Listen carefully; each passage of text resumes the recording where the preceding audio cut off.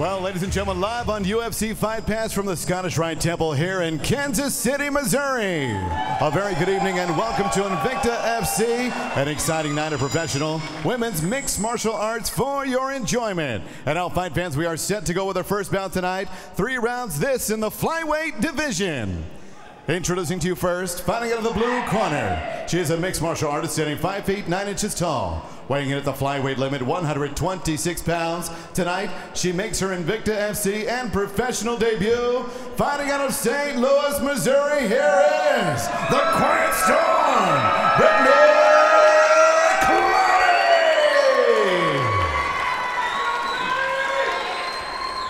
And her opponent across the cage, fighting out of the red corner, a Brazilian Jiu-Jitsu practitioner standing 5 feet 4 inches tall. She weighed in officially 124 pounds and has one professional fight, that a victory with no defeats. Fighting out of Elmwood Park, New Jersey, here is Erin Cold-Blooded Blanchfield! And your referee in charge of the action is Mike England. Flyweights in the cage to get our night started in Kansas City. It is Brittney Cloudy meeting Erin Cold-Blooded Blanchfield. Cloudy, the taller fighter, lands a jab there early. We'll see if she can utilize that reach.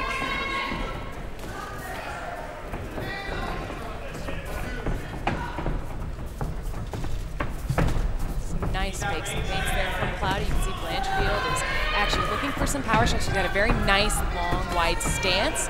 Um, shoot a pretty good shot, and then a single leg from there, and shot, by shot I mean punch, and then single leg.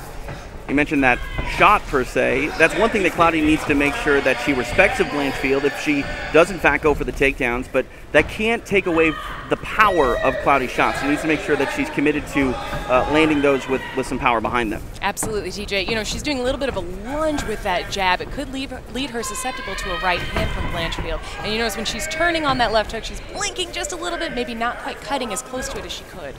Um, Blanchfield seems pretty unfazed, still in this kind of feeling out process. Looking, it looks like for overhands and rights right now, or jabs.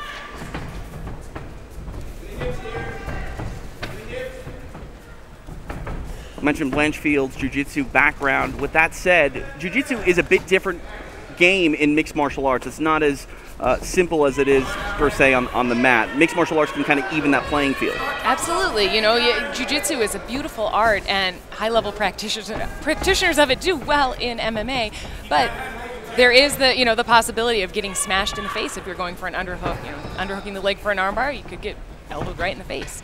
Uh, nice couple of kicks there from Blanchfield. I'd like to see her put a jab in front of those. Oh, nice shot. Nice.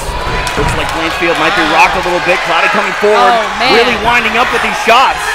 She's getting a little wild there, TJ, with her with her footwork. She's swinging a little wild. Nice back fist, though. Blanchfield still composed. Beating the left hand. Cloudy loading up with that right.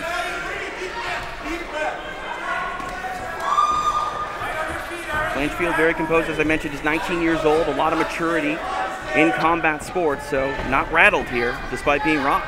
No, and um, that's, you know, her maturity is definitely showing. You can see actually that's where Cloudy showed a little bit of her inexperience, where she started kind of getting a little wild, a little bit wide with those shots. And on a single leg now is Blanchfield. Cloudy is underhooking with her left hand, trying to peel the smaller fighter off of her. Splitting her legs very well there. She needs to get a little bit of a deeper stance or she's going to get that right leg reaped out from the inside. Steps out of it.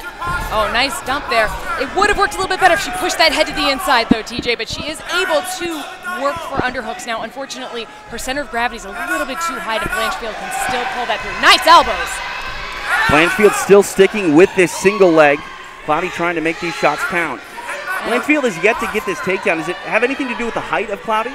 Um, it possibly, and also possibly the way she's dispersing her weight. But you notice there's some blood coming from the right side of Blanchfield. Now she just finished that single leg to the ground, and this is where she shines. Trying to frame up a Kimura is Cloudy. Rory mentioned the MMA game may even out the jiu-jitsu game a little bit, but Cloudy, while she is attacking here, needs to be very careful with the jiu-jitsu practitioner Yes, she's wrapped in a position where it's going to be very hard to peel that arm out. She should use this platform to look for a sweep, to look for a way to get Blanchfield on her back or to get back up to her feet, TJ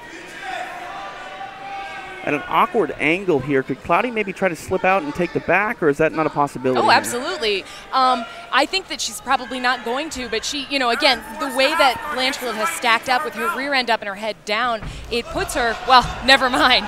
Uh, but you can see Blanchfield's immediately on that pass and that lowering of the base. Didn't get the pass, but now she's wrapped up in the full guard. There's a lot of blood on the canvas there. More shots from Cloudy off of her back. 45 seconds remain in this first round. And I believe it was those elbows that she was doing when she was up against the cage that drew blood from the right side of Blanchfield's head. Well, Cloudy's been taken down. She's definitely been the aggressor and the more effective aggressor, I think, in this fight thus far. So Blanchfield, if she's going to try to steal this round, maybe needs to put something together here in the final 30 seconds. Yeah, TJ, she needs some vicious ground and pounder. She needs a definite pass here and a change of platform um, in order to probably call this her round. Depends on what the judges say, though, right? Never know what the judges say. Erin Blanchfield doing some work here. The guard is open, but time is going to run out here for cold-blooded Erin Blanchfield.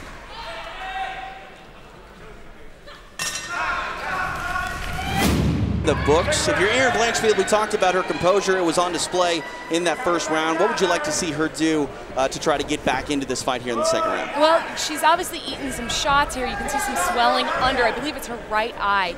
Um, she needs to do exactly that, TJ. She needs to get this fight to the ground and she needs to close that distance, stay as tight to the taller opponent as possible. You see Blanchfield a little more frantic with his takedown, sticking to it. Not a good position here. Cloudy could rain those elbows down again if she wants to. Yeah, but that was actually a very lovely low single. Um, you know, she uh, Cloudy's back up on her feet, but Blanchfield's still pretty tight on her, which is where she needs to be to change the platform and kind of eliminate the space uh, advantage of Cloudy.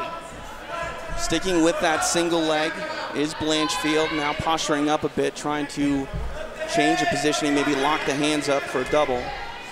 And that's a good idea. I think if she dropped down just a little bit lower, connected her hands around the hamstrings, above the knees, she would be able to get that. However, Cloudy's splitting her legs very well and preventing that. And now changing what would be a not at all effective uh, position into an underhook. You know, that arm and guillotine wasn't quite going to work for her. But getting that underhook or working for a crossface and pulling the shorter fighter up so that her center of gravity wasn't so much lower. This is a smart strategy. Good head work there from Blanchfield, though. She was aware this was happening and, you know, worked with it.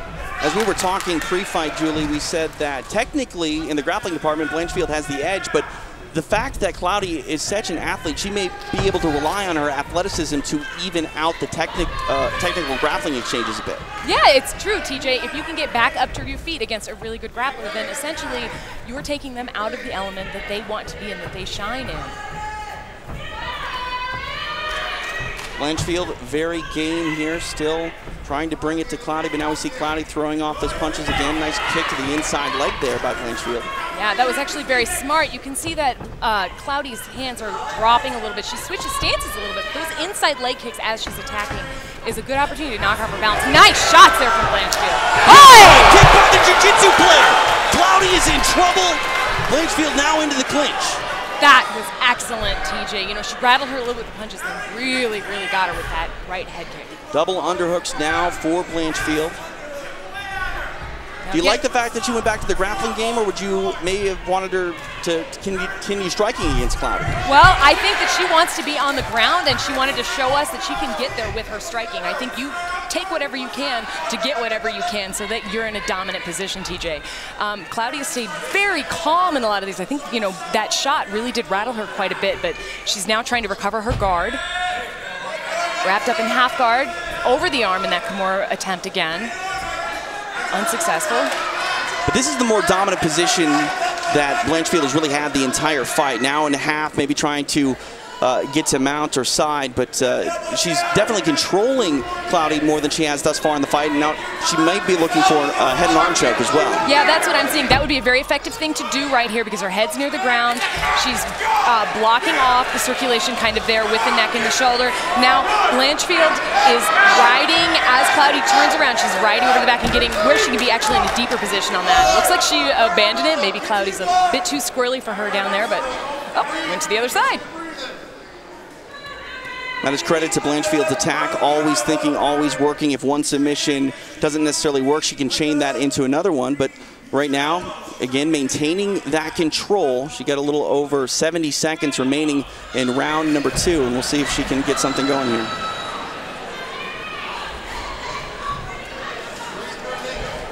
Now she's working a uh, far side arm here, Kimura grip.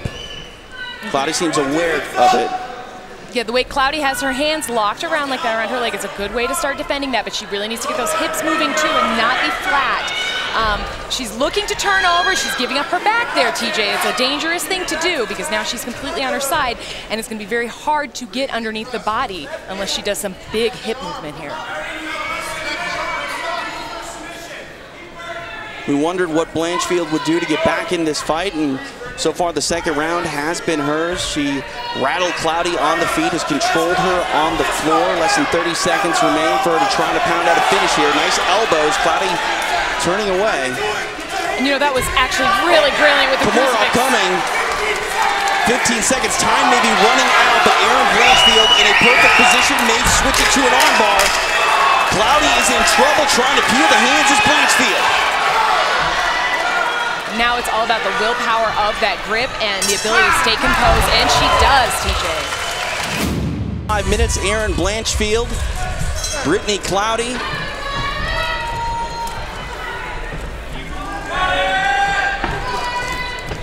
See how these fighters come out here. I mean, this, this round really is the entire fight. We'll see who can get more going. We see uh, a little more kicks here by Cloudy to start the third round. Blanchfield flipping out that left high kick. And I think right now distance is going to be huge for both of these fighters. Who can control the center of the ring, who can stay composed in exchanges and stay tight. We saw Blanchfield have some success on her feet in the second round. So far, she wants to kickbox here to start the third round. She's had trouble taking Cloudy down throughout this fight, so maybe she's, again, hoping to land a combination so that can open up the takedown. Well, and I think that is what MMA is, is you have to find the way to get them where you want them to be. She used power shots, ooh, nicely done with that hook, and she used off-balancing techniques, you know, to put Cloudy back on her heels. Now it's time for Cloudy to actually step forward like that and really get aggressive with her punches and her lateral stepping.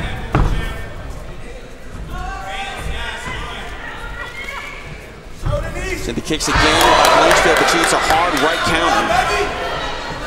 And I think it's counter shots and then moving away from the grap- uh, standing grappling is going to work for Cloudy. She keeps getting backed up into that cage. She needs to keep her back to the center of the cage, not ring.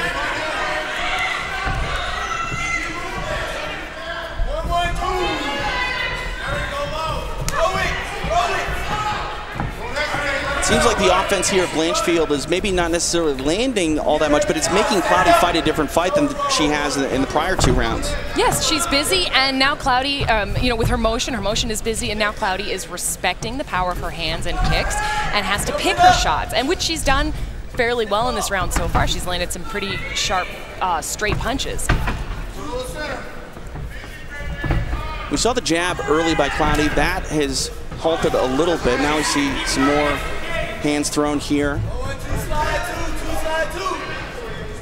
You can hear her corner calling two, slide two. I don't know if that means two punches and slide to the side, or if, it, if the two is one of the numbers for the punches, but... Trying to spin. That's what she needs to do, but then turn right back in and engage so that her opponent's back is to the cage. Recentering is a way to get your breath back, um, but it does kind of give them space after they're trying to get to their feet. Under two and a half remain here in this third and final round. I am impressed with Cloudy's punches. I do think that she needs to deliver them in uh, longer combinations and a little bit more volume.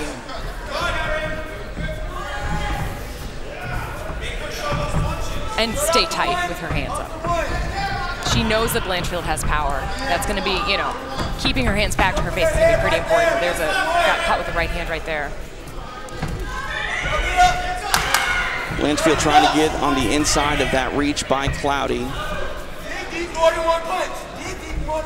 Blanchfield really only throwing one or two shots at a time, not comboing up on Cloudy.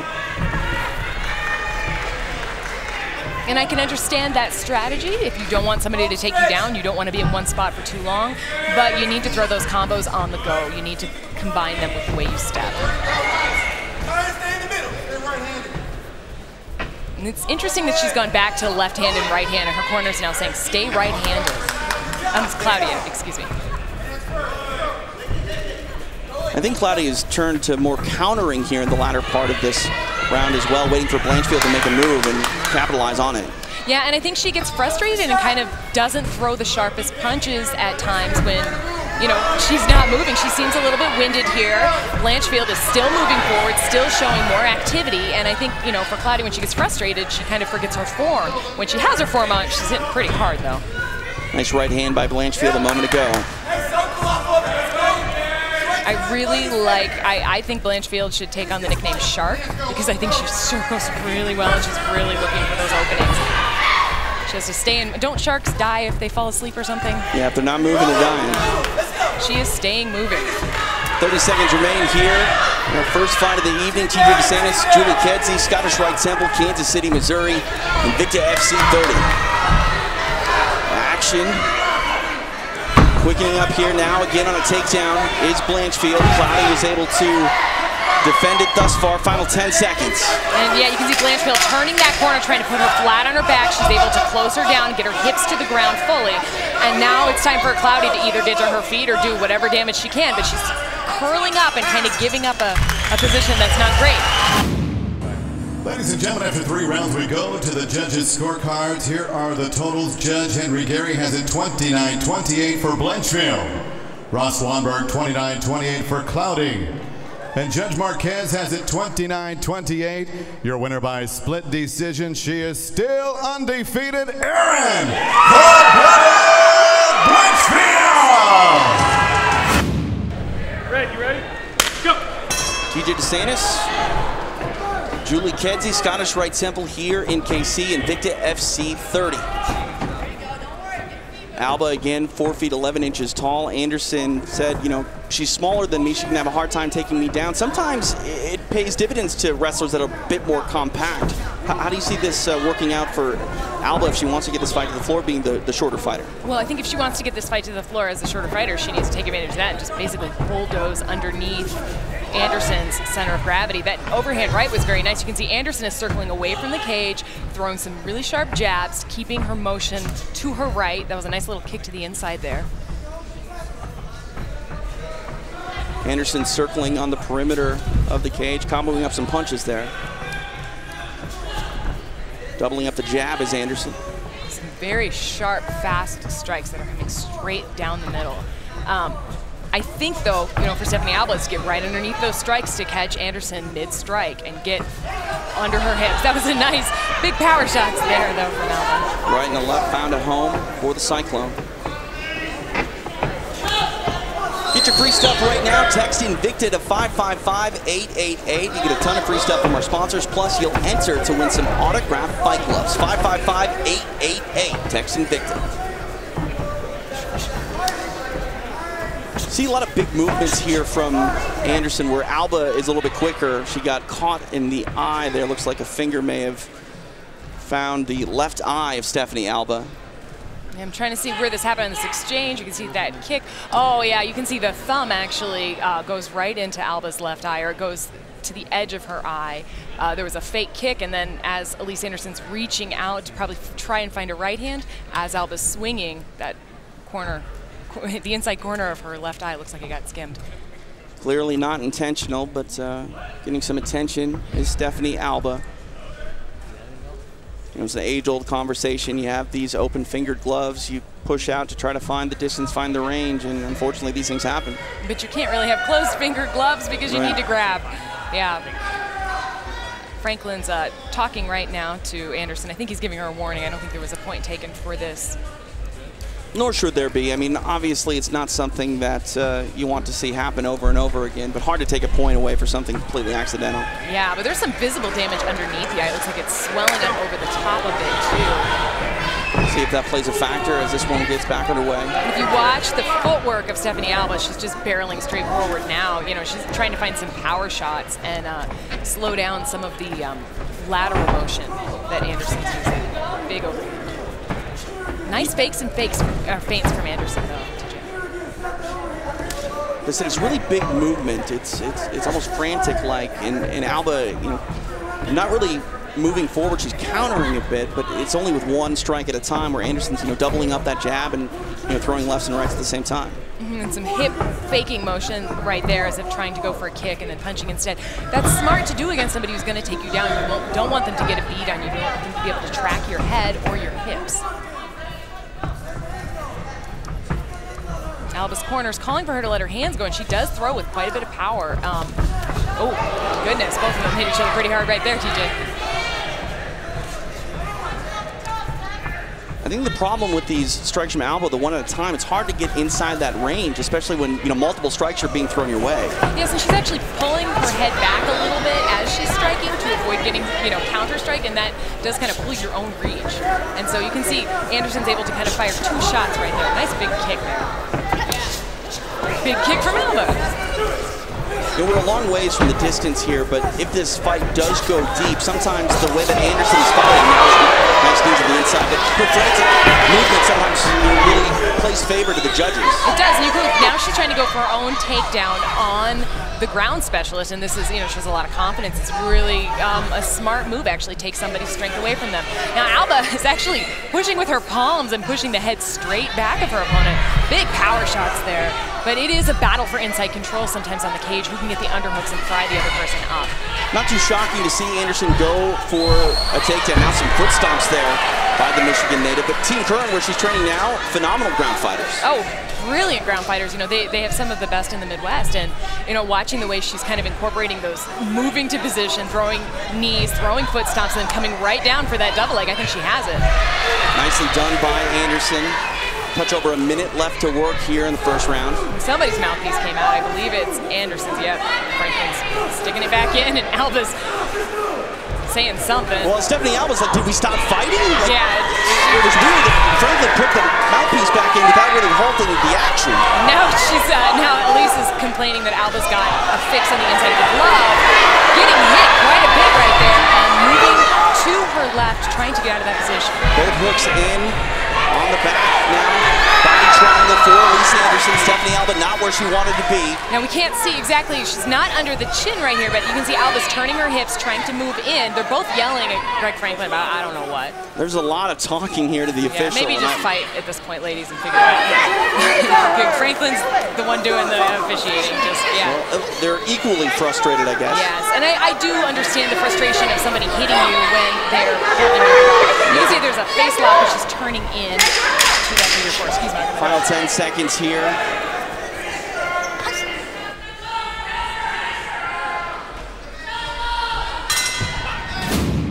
All right, round two underway. You know, throughout that first round two, I think we saw the confidence grow of Alyse Anderson. She got her game going and really controlled the latter half of that round. Now to start the second round, she's throwing those big punches again. She did, but she does have to watch out for Alba's power. Alba hits very hard, and when she's in top position, you know, she's pretty relentless from right there. Nice fast fake to a double jab cross there.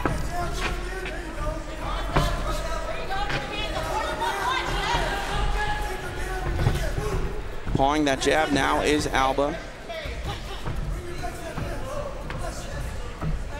Alba's corner is calling for pressure on the cage. Nice shot there. Um, really loading up on that right hand is a Cyclone. Yeah, they really just really want to hit each other hard, TJ. Now it's the inside control game. Over unders here. Greg Franklin telling Alyse Anderson to not grab the fence. And you, you know, you can see from that position, it really throws Alba off her game. Alba was able to deliver a pretty sharp knee. Those foot stomps, I dislike foot stomps quite a bit. Um, they're painful, but they don't stop fights, which is difficult. Um, wow, that was a nice little drop down, even though Alba had an underhook. Alyse Anderson is once again able to drop levels and pin those knees together and pull her down to the ground. Now just 90 seconds into this second round, Alba giving up her back again. Anderson trying to get a hook. She misses, but maintains a clinch, and now Alba reverses. you know, it's hard to take somebody down with that uh, low of a center of gravity, and that was nicely done by Alba to reverse that and turn around. Uh, even though she gave up her back, which is very dangerous, she must have a lot of confidence in her ability to, you know, fight if somebody's on her back.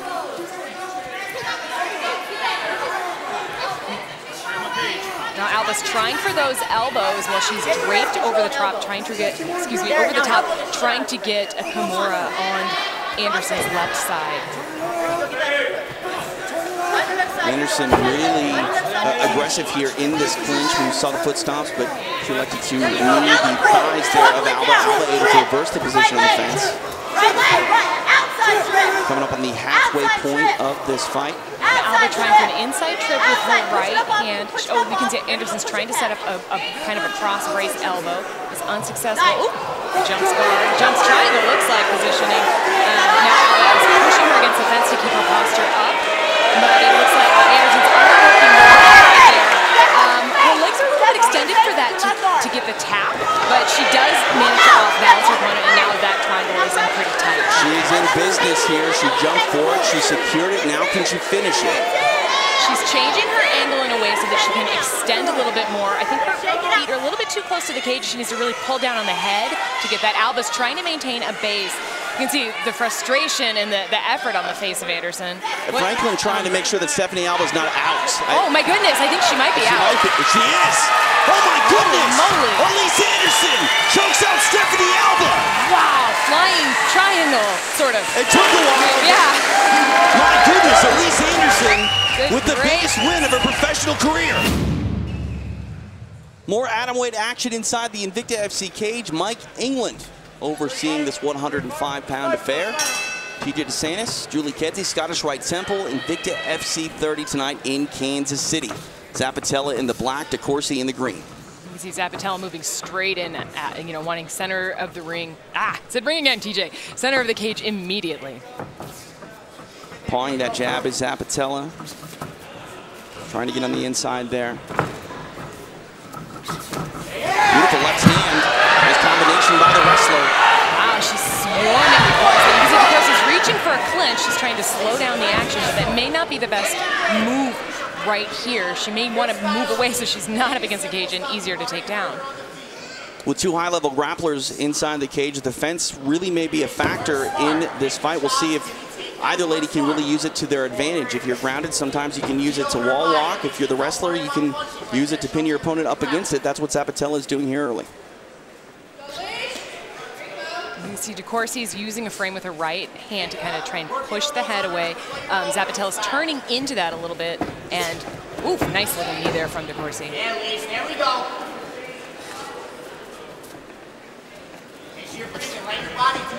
Again throwing knees on the inside there, trying to break the pressure here of Zappitella. Now trying to grab around the head. She bails on it. Yeah, I wouldn't think that's an advisable thing to do because it does offset or puts your center of gravity a little bit too high for somebody shorter than you. But I do like the knees that she's using, the way she's using the cage as kind of a balance point for some of those. Although, oh, nice gut shots right there. Um, that underhook position from Zappitella is being a little bit nullified by those knees and the head scrambles from DeCoursey. Mentioned these fights up against the fence, they're very grueling and grinding and can zap your cardio. DeCoursey didn't really have a lot of time to prepare for this fight, but she said she's always in shape, always ready to go. Well, that's an, a good thing for a fighter to be. I think you never know when somebody's going to get hurt and when you can step up. And that those stepping up times, if you don't get nervous, they could be the performances of your life. Nice, Elise. Give me a takedown. Snatch right under the butt. Beautiful positioning there. Yeah, again, she's using that clinch frame where she's in the tie, some people call it the plum uh, position, where she's across the back of the head, both elbows in. She's using the elbows and forearms to frame out and find positions to knee. It also pulls Zappitella's head down into the knee, which can put her in a position to get quite a bit of damage. See Zappitella here controlling DeCoursey. Hasn't really tried to utilize a, a takedown with the legs at all. She hasn't tried to trip up DeCoursey. Comfortable in this sort of dirty boxing position, but now we see some head positioning here. That can be very key in these situations. Another knee, though, by DeCoursey. Really, Zappitella is doing some relentless pressure there, and that um, those kind of the elbow structure and frame is what's keeping DeCoursey in, in position. Now they're apart, though. Two minutes to go.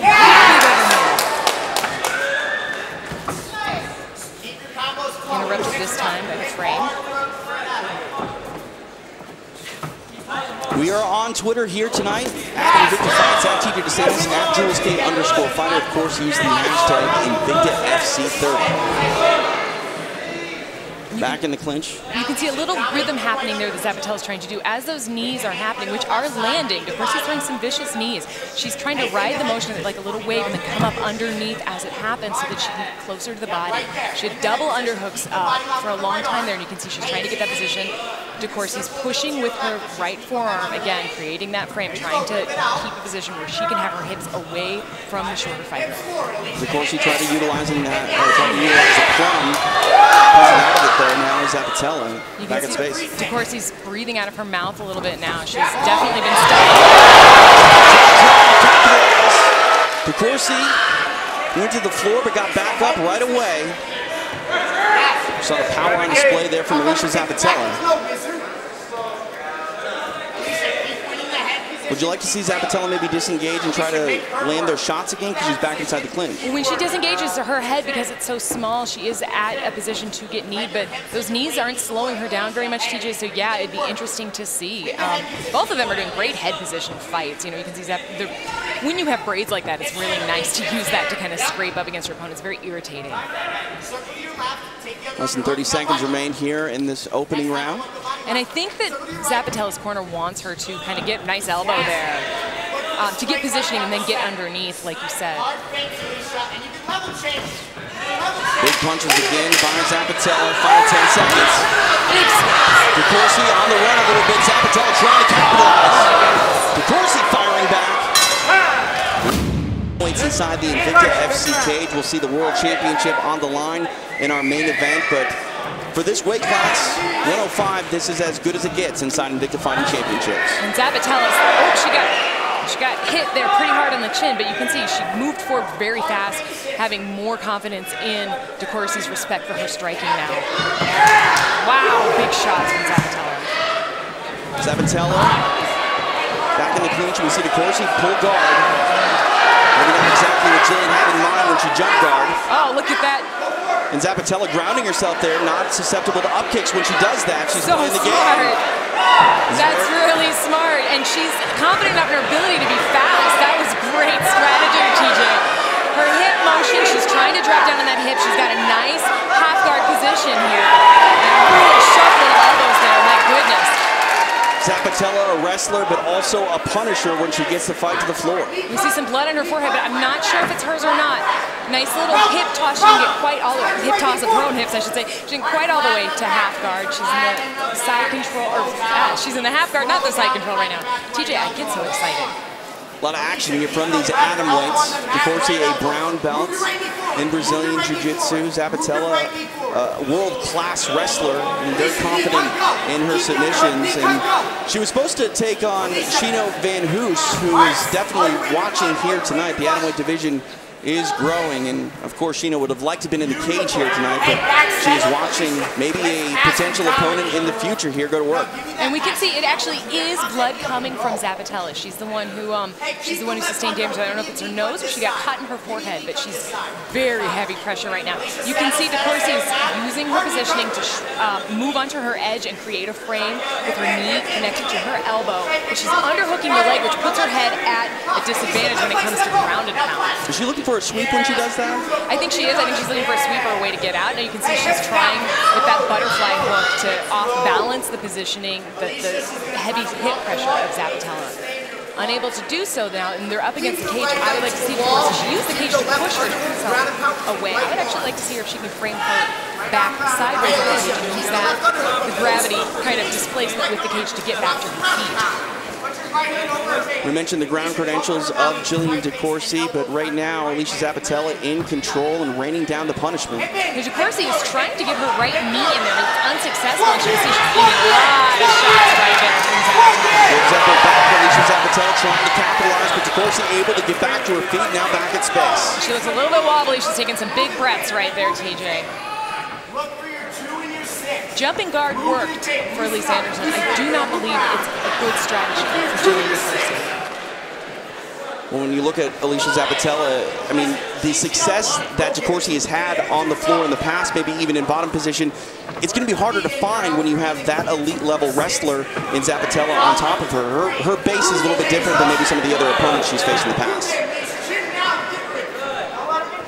Zappitella got a little bit of a shock there with that punch.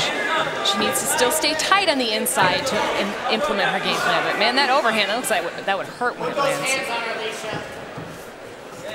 Nice sharp punch there. DeCoursey seems to have her head back and her breath back too.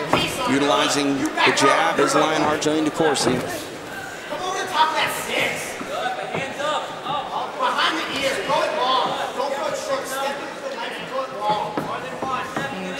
can is trying to do some kind of deceptive footwork, bouncing back and forth, trying to find a home for that overhand, and she did. She's eating some jabs though, TJ. And of course, he is countering with that jab, but you can see under her left eye, it's starting to swell. Find that chin, her mouth's wide open, let's put her to sleep.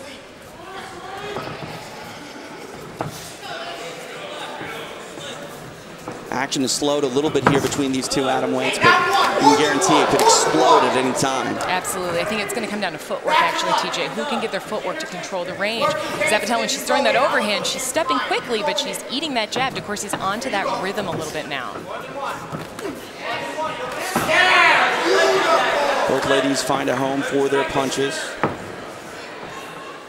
The jab of DeCoursey, while it's landing, it's really not changing the posture or aggression by Alesha Zappitella. No, and I think that has to do with a wrestler's mindset as well, TJ. You don't stop a wrestler if they want to move forward. We talked about Very that. hard. Zappitella said that, you know, a wrestler made her who she is as a human being inside and outside of the cage, and I think we see that. Ooh, nice right cross, left hook. 10 minutes in the books between Jillian DeCoursey and Alesha Zappitella. A lot to take away took a break, and then we immediately saw Zappitella come over the top and land some more ground and pound. There's visible swelling in DeCoursey's left eye. She's eaten some big shots here today, but she did come into her own at the end of that second round. She was hitting her own shots as well. Let's not forget the nickname of Jillian DeCoursey, Lionheart. She wants to have the heart of a lion in this fight, and maybe she can come back and make something big happen here in this third and final round. Oof. Now she had a little gamesmanship there. Uh, Zappitella missed a kick. DeCoursey stuck her tongue out a little bit, made a little bit of a face, and Zappitella took advantage of that to just drive forward with some strikes, house her up against the cage once more. Text in at 555-888. Text the word Invicta. You get some great gifts from our sponsors. And if you are watching outside of the U.S., don't worry. Visit us on Twitter or Facebook. Click the link, and you'll be automatically entered to win a pair of autographed fight gloves. And you can see, so earlier DeCoursey was using a nice frame there. I think she's trying to set up an elbow there, but she was using that frame to block the face. Now she's um, now she's using overhooks, which actually might work for her just a little bit better than that tie frame. Um, but Zappitella is so intent on getting underneath and getting that double underhook position. Now it's a fight for wrist control, and that's super fun to watch, seeing who can grab on and who can get control of the hands. Back to the plum kind of positioning shouldn't say it's exactly a technical plum, but it's based on one. It has roots in the Thai plum. Zappitella landing a nice little left elbow there standing. DeCoursey really not able to get away from this position. She's been controlled here throughout the fight. And you can see Zappitella fights. She gets an underhook. She finds a position to strike or control the biceps. Now her head's just a little bit low, but, you know, trying that crossface position, she's able to push and strike, which she just did. Janaisa Morandin watching down in Brazil. We'll talk a little bit more about her. She's got something coming up that uh, could be really exciting. So Janaisa Morandin news coming up later on tonight here at Invicta FC 30. Now back at space. A little under three minutes left for these atom weights to work.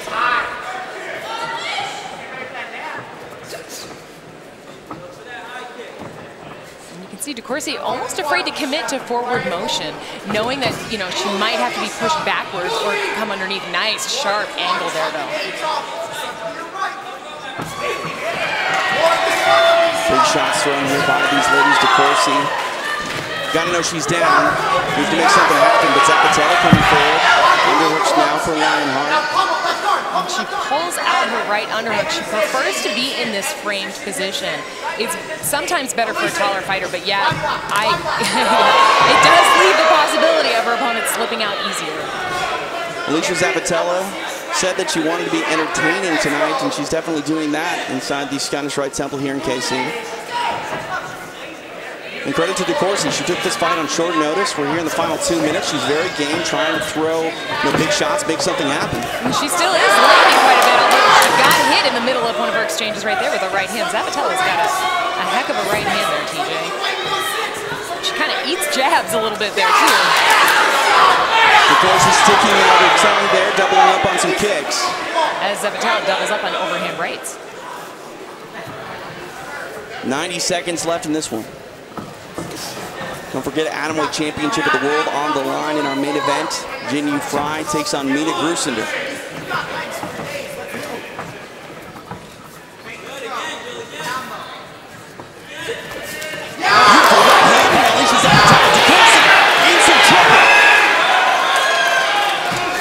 Able to slow it down as Jillian DeCoursey, but back in a familiar position up against the fence.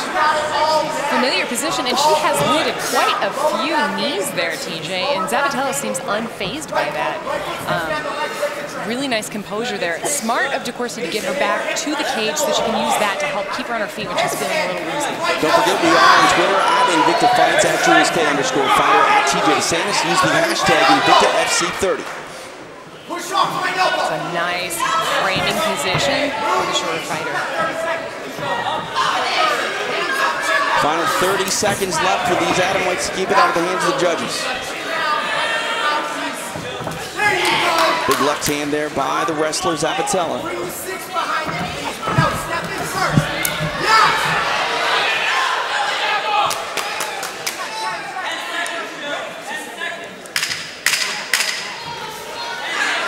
Exchanging punches. Nice left hand got through by DeCoursey. You see Zappitella sometimes just throws her head down and swings. 15 minutes in the books. Ladies and gentlemen, after three rounds, we go to the judges' scorecards. All three agree 30 27. Your winner by unanimous decision out of Brighton, Michigan, Half Pint, Alesha Zappitella. Bantamweight's ready to go here in Kansas City. Greg Franklin overseeing the contest. Scary Kerri Kenneson meeting Stephanie Geltmacher. TJ DeSantis, Julie Kedzie, Scottish Rite Temple, Invicta FC 30 here, live on UFC Fight Pass. Geltmacher, the wrestler, immediately getting the takedown. North-south position here. Kenneson, a jiu-jitsu practitioner, should be comfortable off her back, but this is not where she wanted to be inside control. Not at all, and her right arm is actually wrapped in a bad position over the head of her opponent. She really needs to use that to brace and work to get to her feet. Uh, tries for an underhook and gets mounted. Um, Kenneson, or excuse me, Geltmacher just read that right away. And she's got her legs grapevined a little bit out there trying to keep Kenneson from getting a base with her feet. Kenneson's trying to get out from under the mount, but you can see Geltmacher's base is pretty good there. See Geltmacher inching Kenneson towards the fence. And we'll see if she postures up. Kenneson may be able to kick off that fence, but Geltmacher very aware of the position. Yeah, it's not actually great, I, I think, to put somebody on the fence when you're mounted on them because it gives me an ability to actually push on your hips and control them. However, she is controlling the hips of Geltmacher with those extended um, hooks with her own legs. You can see the pressure here from Geltmacher. She was putting her elbow on the face of Kenneson, making this position very uncomfortable. Now she postures up. Hard shots there by Geltmacher. Kenneson trying to make something happen, trying to move, maybe give up her back. She's trying to give up, yeah, get to her feet. You can see Geltmacher's riding the position, reaching around her head, trying to get a choke. She's not quite, she's cranking the head now to get into position.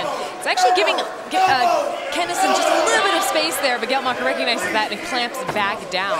Big elbows.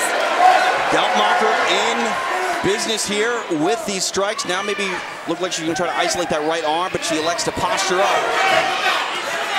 Kenneson rolls all the way, trying to go belly down. She again gives up the back. Geltmacher's not completely under the chin, but she's pulling on the face. It's a very uncomfortable position to have your face crank like that. And she's digging for getting to a position. Also bracing on the head and bracing on the ground to find positions to strike. A little bit under three minutes left here in this fight. You can see- Geltmacher Excuse attacking. Oh, I was going to say, you can see Kenneson's actually using her left hook to try and pull away, and she gets to a half guard position. Now Geltmacher is riding a little bit too high to prevent that flip over if Kenneson is aware of it, she can get her leg up and not lock her legs right there, but in fact stay in motion. Nice hips there from Geltmacher. She's looking for those you know, opportunities to throw elbows and do as much damage as possible. Some right hands there by Geltmacher. Kenneson has been in trouble this entire round. Over the halfway point. She's got to make something happen to avoid uh, you know 10-8 if this goes the full five. She does, and I think that she's actually kind of blocking out some of her opportunities to sweep by locking down her half guard there. She needs to get a little bit deeper if she wants to get those half guard sweeps. She is starting to get deeper underneath the hips, but again, uh, Geltmacher's reading it and kind of riding down on her. It's actually smart instincts from Kenneson to curl up like that, but it does look like a little bit of a frantic position with those hard, hard shots. The shots, you know, not a lot of power on but they are adding up. Greg Franklin it a look. Got some elbows Yeah. to the maybe the back of the head, to the ear. Geltmacher getting closer, to a finish. She gets it done.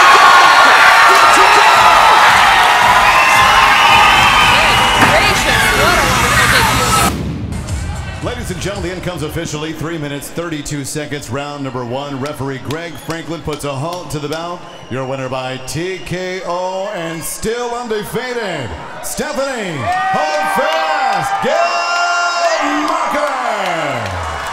Stephanie Geltmacher by stoppage here in the first round. She'll speak with Laura Sanko. I'm here with Stephanie Geltmacher. Stephanie, what an impression to make. I would say Hawaii is on its feet tonight. How good does this feel? Yeah! That's how it feels! When you envision a perfect performance, did it pretty much look just like this? Yeah, that's how I seen it. um, I just go out there and get it. That's what that's my mentality. Hold fast, man. Let's go. That 135 pound division is deep, but I don't know if we've ever seen someone with a four time All American wrestling credential. Do you think anyone in this division can hang with your wrestling? Uh, maybe, but I'm actually 125. I wonder, but uh, yeah. Um, I don't know. I give some people a go. Let's go. Well, congratulations. You have made quite a statement tonight, quite a first impression. Ladies and gentlemen, Stephanie Geltmacher! Getting it done here tonight, a stoppage goes her way, getting Kerri Kenneson out of the Invicta FC cage. She is here on a mission, and so far, so good. We roll on from Kansas City. This is Invicta FC 30. Undefeated flyweights will clash as Missouri native Miranda Maverick takes on Brogan Walker Sanchez. Fresh off of her January victory over Cheri Muraski, Brogan Walker Sanchez hopes to continue her ascent to the top of the 125 pound division. Flawless at 5 0, the Killer Bee looks to remain perfect while handing her opponent the first loss of her professional career. At 21 years old, Springfield, Missouri's Miranda Maverick has been impressive, earning victories over Kaylin Schwartz, Samantha Diaz, and Gabby Romero. Tonight, she looks for her fourth straight victory, solidifying her status as one of the flyweight division's premier prospects. Coming up next, it's Killer B, Brogan Walker Sanchez versus Miranda Maverick. This is Invicta FC on UFC Fight Pass. TJ stole everything from me. An idea that I don't think about getting my world title back. I just can't get you out of my head. I came off the couch and dropped your ass. Oh yeah. Cody was just trying to get in my head, and it just kind of pumped me up even more. Me and Cody have had some bad blood. Nothing's changed. I want to run it back. This is room for the ages. TJ Dillashaw, where are you at? I'm gonna be the champion.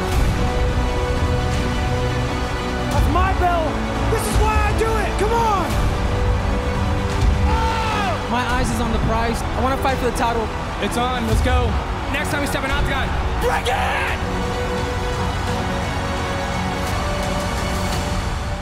I just can't get you out of my head.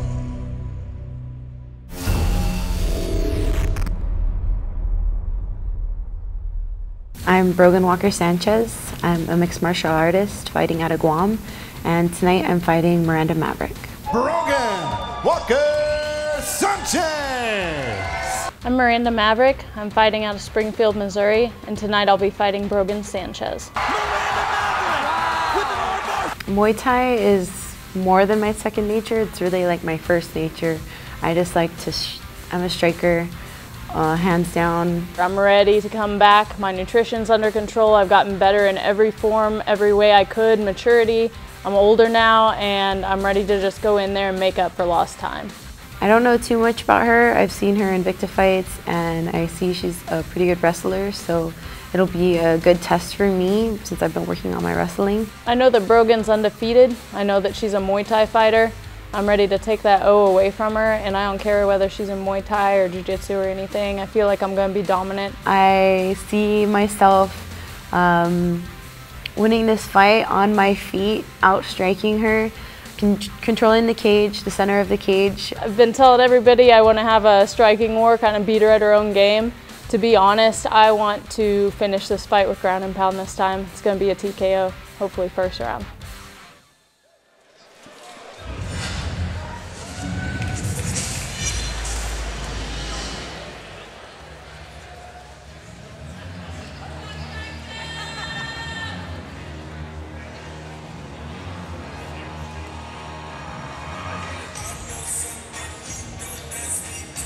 She is Guam's Killer Bee. Brogan Walker Sanchez making her second Invicta FC appearance here tonight, and she expects a war. This could be fight of the night. A lot of people are saying it might be that sleeper, and she's expecting it. She welcomes it, coming off a split decision over Cheri Muraski. She said she wasn't nervous, really came into her own in her last fight, immediately got back in the gym, and she has been waiting for this moment to get back inside the Invicta FC cage and push her campaign further by taking out uh, an up-and-coming prospect in Miranda Maverick. Yeah, Brogan Walker Sanchez is one of the most interesting people to talk to. She's such a positive human being, and she says a lot of her mental training comes with practice meditations that she does, practice visualizations.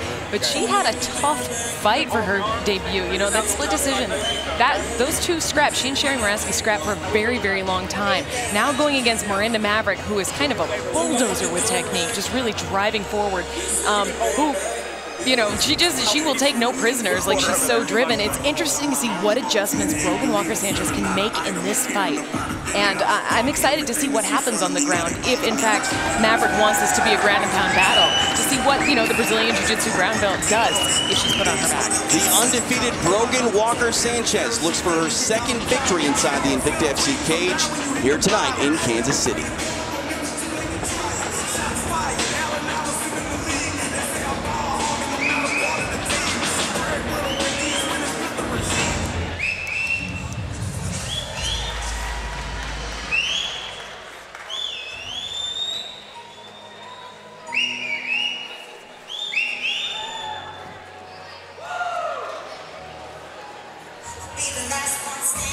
Miranda Maverick is unlike really any other 21-year-old human being you might meet.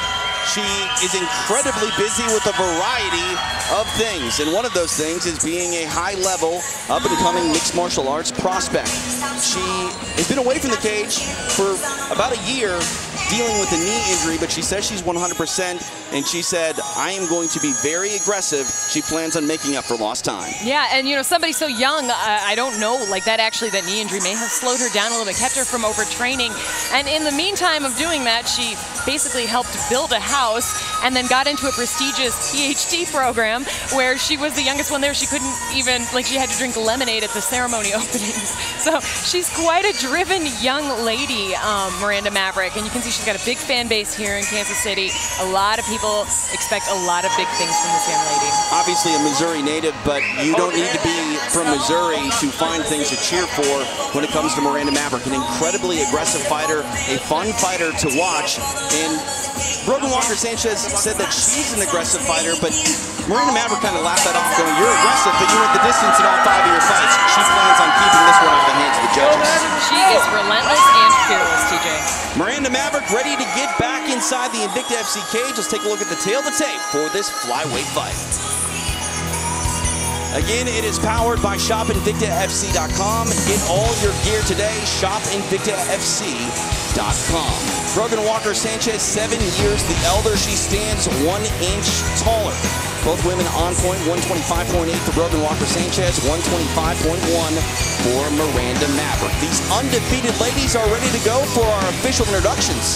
Here's Joe Martinez. And now, five fans, we are set to go three rounds in this throwdown of two undefeated flyweights. Introducing to you first, fighting out of the blue corner, a Muay Thai fighter standing 5 feet 4 inches tall, weighing in officially 125 and 3 quarter pounds. As a professional, she stands perfect with five victories and no defeats. Fighting out of Guam, here's the undefeated Killer Bee, Brogan Walker Sanchez. And across the cage stands her opponent, fighting out of the red corner. Her background, Brazilian Jiu-Jitsu and kickboxing. At 5 feet 3 inches tall, she weighed in officially 125 pounds. She too brings a perfect record into the cage. Three victories and no defeats. Fighting out of Springfield, Missouri, here is the undefeated Miranda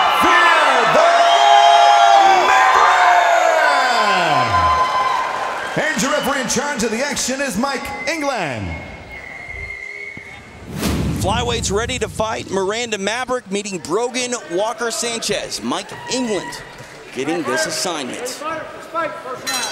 TJ DeSantis, Julie Kedzie, Scottish Rite Temple here in Kansas City, Invicta FC 30. Both fighters starting southpaw today. Maverick says everything happens for a reason. She felt that uh, the injury and the time off really helped her mature.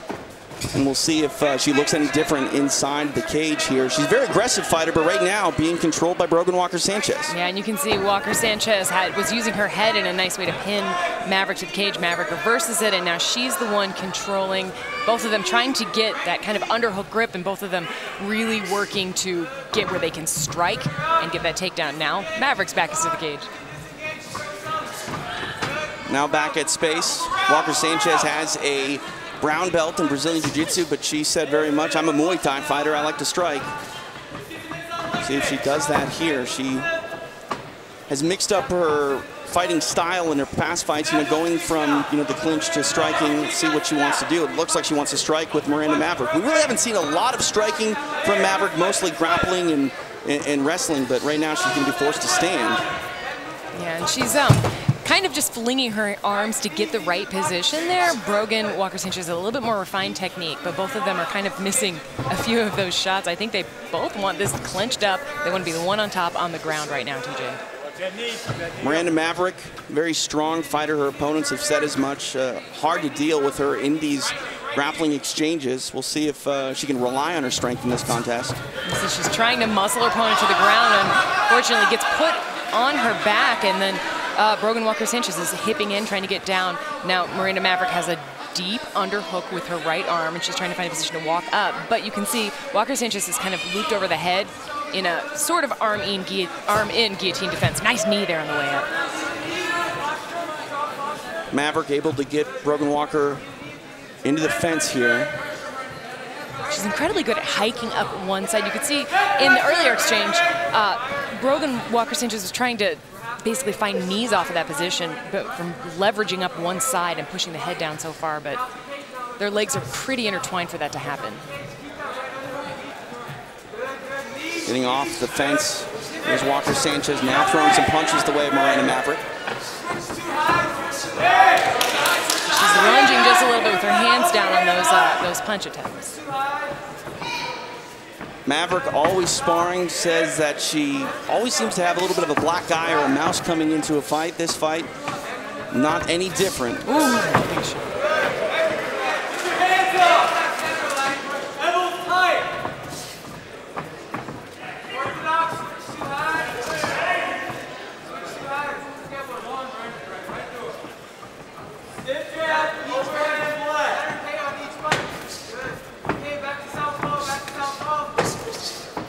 Exchanging kicks there, neither lady really landing flush.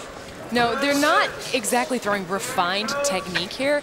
Um, Walker Sanchez is a little bit more active, but she seems to pull her head away when she throws, which again pulls her ability to hit long shots and power shots. Maverick in on a takedown, working a single leg. She gets it. We'll see if she can secure the position. We see Walker Sanchez trying to slip out the back door, maybe try to take the back of Miranda Maverick. And she's got she's around the neck with her left arm, and she's kind of pulling with her right arm. Her hands are connected there. So what Maverick needs to do is to be belly down and break that leverage position, and she's turning in exactly how she should to get to a side control. Well, not a side control, it's more of a half guard position, but she's no longer threatened from the back. Could be a big final minute of this fight. Both ladies very game in this one, but we all know that the latter part of a round tends to speak more volume to the judges. And you can see that Walker Sanchez is trying to insert a butterfly hook, but she's also using that foot to kind of push on the hip. Now she locks it back down, but she's trying to create space with that so she can get her body away. Maverick, meanwhile, is putting a lot of pressure on the head on her arm positioning. Now Walker Sanchez moves into a full guard. And our camera angle here doesn't really let us see what's going on with their arms.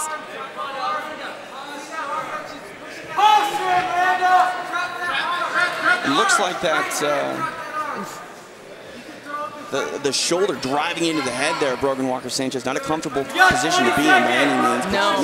Maverick is incredibly strong. That was a that looked really uncomfortable. It was more like one of those discomforts that's not going to hurt you positions. Um, now you can see Maverick trying to control the the head to find a good position, the biceps to the head to find a good position to strike from. But Walker Sanchez is keeping her posture down so that she cannot launch that big of an attack. Water in the corner, and the wonder she wonders, wonders about slips. It's important for her, I think, to stay on her feet to get to a top position when the takedown occurs. Maverick feigning with a jump knee.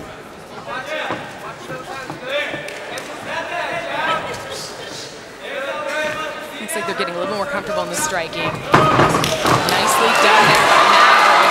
Walker Sanchez kind of felt, fell awkwardly on her right leg. She looks to be okay. She's going to open half guard here. She's climbing that left leg up, trying to get a position to brace from, or she's actually, it looks like she's trying to get into a position for a heel hook and try to sweep there uh, if she can knock Maverick off her balance. There's two goals of a heel hook in mixed martial arts. One, the submission. The other, top position. Now Miranda Maverick going for a heel hook of her own. And that is the leg lock game, TJ. You try for one, you are in a position to give one out unless you're very careful. Maverick's rolling belly down, trying to get extension on that. Miranda Maverick, a purple belt in Brazilian Jiu-Jitsu, but obviously some technique here as a brown belt in trouble. Brogan Walker Sanchez was trying to push and base. Now she's just going to walk in and try to be top position of fight hand. Smart strategy. I don't think she was able to pull her leg out. It was pretty trapped, but she can create a little bit more of a, a scramble here. That heel hook, I'm not sure where the foot is, but it doesn't look like it's completely locked. And now it's a matter of leverage and cutting off her leverage. Now Walker Sanchez, she's the one that initially, you know, went to the foot battle and leg battle, and now she's in top position. And that was that was well done. Not to worry about trying to get your own heel hook. Then you get caught in one, try to fight hands, get on top position. She's in a very good position on Maverick right now. Um, top position, able to throw ground and pound, rolling right there into into full mount. We talked a little bit about the aggressive nature of Miranda Maverick and whether or not Brogan Walker Sanchez could use that to her advantage. And right now, the aggressive Maverick who went for the leg lock is in a bad position. In a bad position, but she has escaped on one side. She's got her left leg free. She needs to roll pretty hard now to her right in order to get out of this. And I think she's, you know, uh, Walker Sanchez is keeping her very tightly held on her upper body to keep her left elbow from getting to the inside and helping with that escape. Halfway point of the fight. Oh, rolling right back into mount there. Nicely done with the cape as a balance point. Maverick goes belly down once again. Covering up is Maverick. Now maybe getting to a base. Trying to fight the hands. You can hear somebody, I don't know if it was the crowd or the corner, saying flying around. And that's a smart thing to do when you're on somebody's back. Now that uh, Brogan kind of has her completely tied up here, it's a matter of fighting hands, trying to get where you can hit and insert for a submission. Oh, looks like she's under the chin, TJ. Or Maverick battling through it. not under the chin completely. A lot of time here for Brogan Walker Sanchez to work. You can see Maverick looking to shift her hips, get to a better position. Brogan Walker Sanchez follows it, moving mount. Now she's doing, she's kind of doing a good job of riding up a little bit higher. You can see Maverick's turning in and she reverses the position. But her arm is exposed there, TJ. She still can be armbarred right there if Brogan Walker Sanchez, she has control of the right wrist if she moves fast with her legs. Touch over 70 seconds remaining here in round number two. Miranda Maverick in top position. We'll see if she can utilize it to maybe steal the round back. And the judge is back on her side. High guard here for Brogan Walker Sanchez. And that's a great position to nullify somebody's ground and pound, but you have to use it to, to change your platform. You're still just on your back. You've got to use that for setting up your submissions or to calm somebody down a little bit when they're striking you. Big Nice elbow there by Miranda Maverick.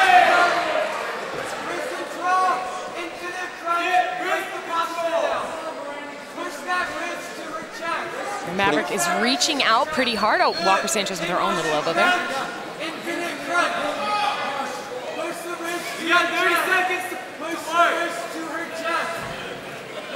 Maverick stack still needs to be wary of where her arms are. Now she postures up. Nice left hand, hammer fist there by Miranda Maverick. Final 10 seconds here of round number two.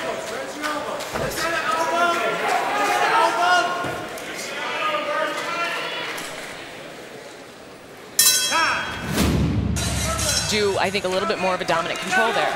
Final five minutes for these flyweights to go to work. Immediately doing so here to start round number three. I think there's definitely some franticness in both of them to get a finish at this point. The first round very close. The second round, you can argue for Brogan Walker Sanchez, but Miranda Maverick did finish in top position, did get a takedown. It'll be interesting what the judges say after this one if it goes another five minutes. We are on Twitter at Invicta Fights, at TJ DeSantis, at Jules K underscore fighter. Use that hashtag InvictaFC30. I think Walker Sanchez is still feeling, you know, she's feeling pretty confident now with her feet. She's throwing a lot of front kicks that are really kind of more of a, a snapping kick than a thrust, maybe to prevent her leg from being grabbed again. And now here up against the fence, you know, she definitely wants to show that she's in control. It kind of rolls around with that takedown and shucks her off. Oh, I don't know if, did that hit the back of the head, TJ? That round kick sure did curve. Big punch from Maverick. Flurry here between these flyweights. She's getting tagged pretty, uh, quite a bit with the right hand there, Maverick is.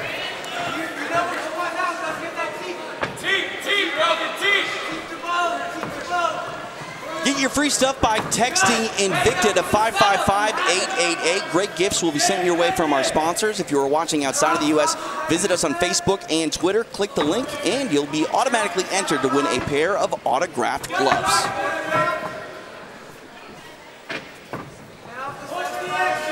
A lot on the line here.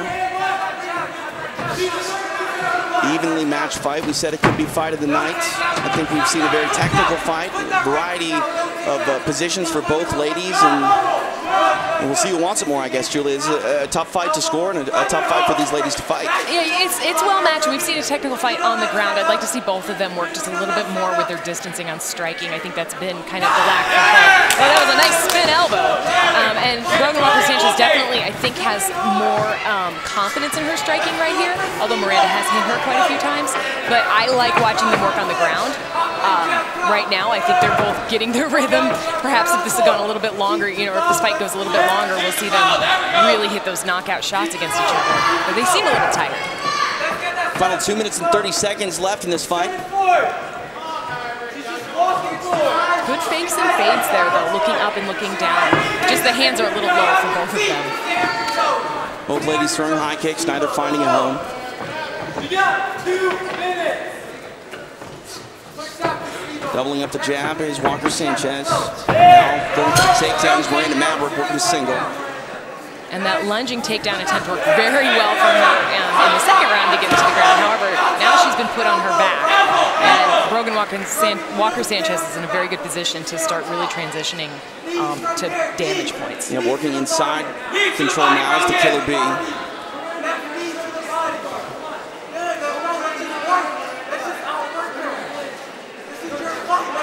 She's attacking maybe or just controlling that right arm of Maverick using the other arm to elbow the body. Yes, I think she's trying to isolate TJ. She's trying to get Maverick to extend something so that she can move around. Now she's on the back, no hooks. Uh, Maverick is, oh, she's gonna get back to her feet. Something about that position Brogan Walker Sanchez didn't like. She didn't uh, put her hooks in there. I don't know if she feared Maverick rolling through and inducing a scramble, but she elects to stand. Huh. These ladies going to work here. Final minutes. And I do like the double-sided hits. I think that's a smart strategy. You know, we're used to throwing left, right, or right, left, and, you know, they'll do left, left, and right, right. Walker Sanchez has been looking for that teep to the face all night. I think she's landed it a couple of times, but I've not seen anything hurt flush enough to actually do damage on Maverick. Good leg kick.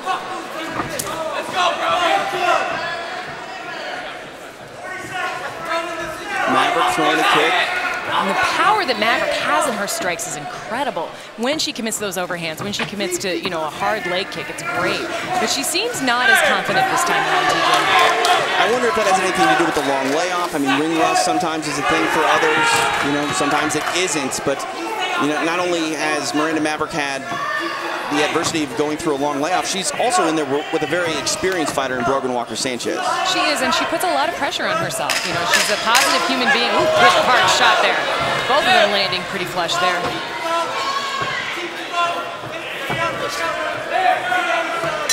Fifteen minutes in the books between these flyweights. Who is it going to be? The judges will have their hands full. Ladies and gentlemen, after three rounds, we go to the judges' scorecards. The totals are 30-27, 30-27, and 29-28. All for your winner by unanimous decision and still undefeated, Killer Bee, Brogan Walker Sanchez. Strawweight set to go inside the Invicta FC cage. UFC veteran Heather Jo Clark taking on Kimberly Novaes.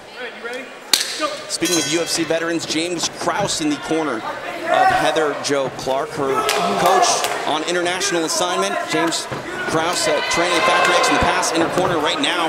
These ladies are going to war. That was a big opening right hand there from Heather Clark. Um, Morandin got a little bit off balance there, got hit a little bit with a glancing um, spinning back fist, and now Clark has her pushed up against the cage as they're clinched.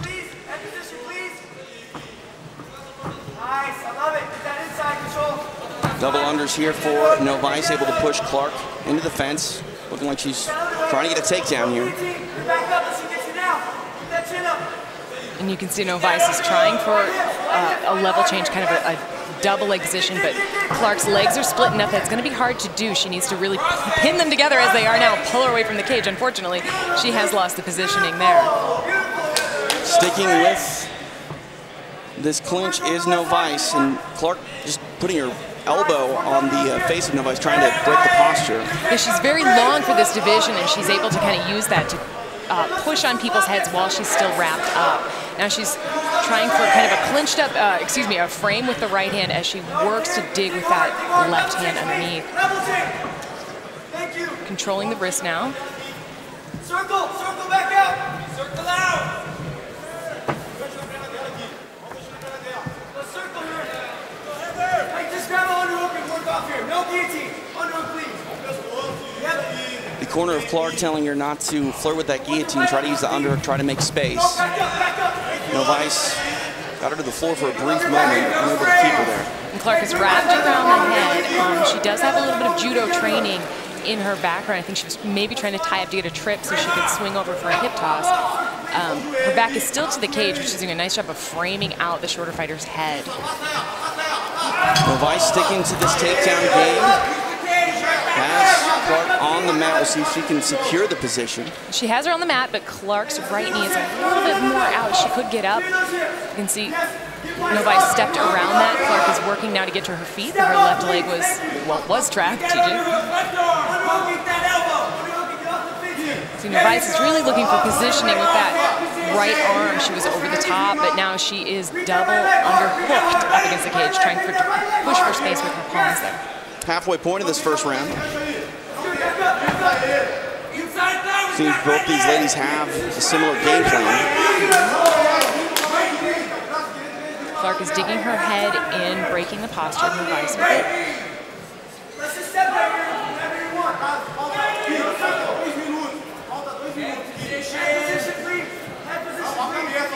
Head position, very important here. You hear that from the corner of Heather Jo Clark. That's that's a smart strategy. Staying when you split kind of the head of a shorter fighter from their hips, it's very hard for them to launch effective power attacks. Plus, her back is to the cage, Novaes, and it's hard for her. You know, she's really got to dig for that underhook on her left side to get anything to happen here.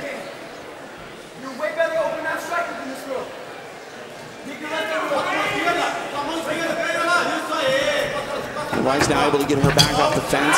Clark puts her right back. Very gritty clinch game here unfolding in this first round. Not seeing any super powerful, huge commitments to knees from either fighter yet, TJ. Mostly just kind of jockeying for position. Clark pulls out. I guess she wants us to be, you know, she was doing actually well with that opening stance the punches. Big left hand and a right there by Novaes, comboing up the punches. Minutes ago here in round number one. And that was smartly done by Novaes to throw those in combination and push back so that there's no, you know, she has less distance to work with there.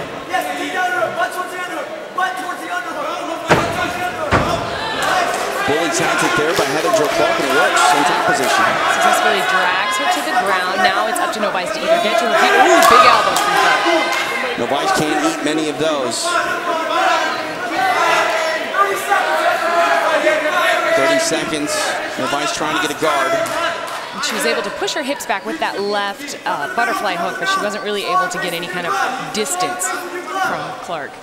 Final 15 seconds of this round, a very important takedown for the UFC veteran Heather Jo Clark. Looks like Novaes is trying to get to almost a gogoplata position there with her right hand, right foot. Unable to get it, but we see that uh, rubber guard game of the Brazilian.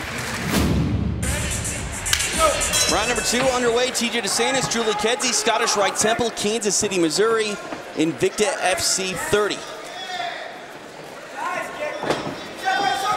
Big looping punch there.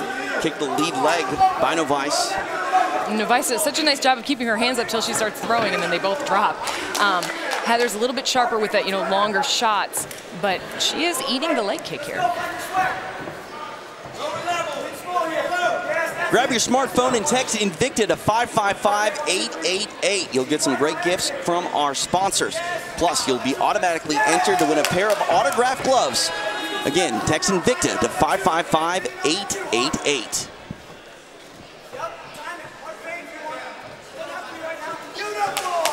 Combination there by Heather Jo Clark.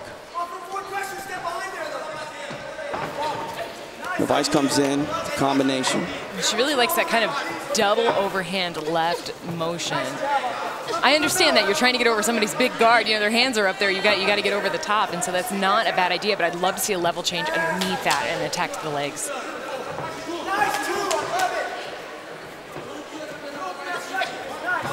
We're on Twitter at Invicta Fights, at Jules K underscore fighter, at TJ DeSantis. Just use that hashtag InvictaFC30. Now back in the clinch. Clark has Novaes into the cage. Novaes reverses position. Clark is pushing on the face of Novaes with that hand. Corner calls for the underhook. So now she's taking her, her left arm, excuse me, and bracing across the face, trying to find an elbow shot there as she's pushing on the jaw with an open hand. Circle, circle hard. Circle hard. Circle. Knee on the right.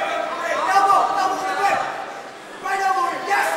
Seen the exchange of positions multiple times in this fight. Clark misses with a big elbow. Yeah, she did hear her corner though. They were yelling for elbow on the break, and she threw one earlier to that. Not quite from the break, but that was nicely done. Novaes was throwing some nice leg kicks earlier. I'd like to see her throw a few more of those. They were landing pretty flush.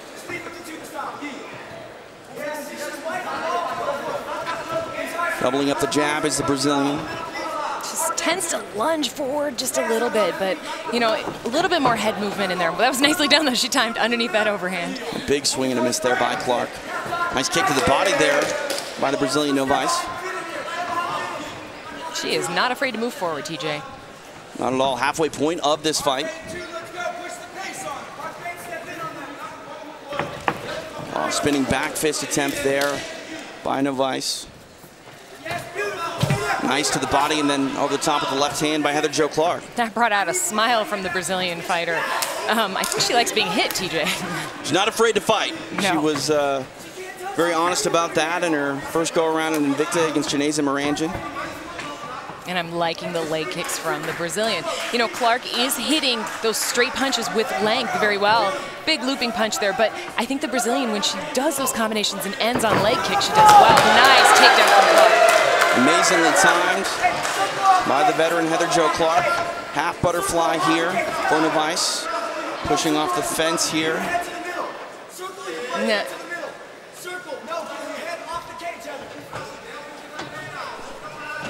You can hear James Krause telling her to get her head off the cage, putting her head up against the cage, gives her a little bit of a base for her head to uh, punch, but it gives the Brazilian an opportunity to get to her feet. Novaes opening the guard here, foot on the hip. Trying to induce a scramble or grab a submission. Oh. Gets to a base, Heather Jo Clark on her back, one hook in. She's a little high, TJ, but she's got underhook. She's underneath, and that's a good position to be able to extend from. Hard to see where that forearm is of Heather Jo Clark. Novaes needs to be careful, but like you said, that position, Heather is a bit high. And she's punching in pretty good solid position by the ear. You can see Novaes put her hand over her ear, so it's not going to do any damage right there. But her chin is up now, Novaes, so she's got to watch out for Heather extending an arm in there. However, Novaes needs to keep circling. She needs to get to a position where she's not mounted or she doesn't have somebody on her back. Final 30 seconds here in round number two. Ground and pound from Heather. I'd like to see her try to get those hooks extended, flatten her opponent out. Clark made the proper adjustment too. She was high. She's still pretty high though, but she's more in control of the position, I think. She is, and she's attacking the hands, which is smart because it keeps the Brazilian from finding a base position. Now you can see Novaes is turning into her, still getting hit by those back fists and those ear punches, which are definitely Making causing her some.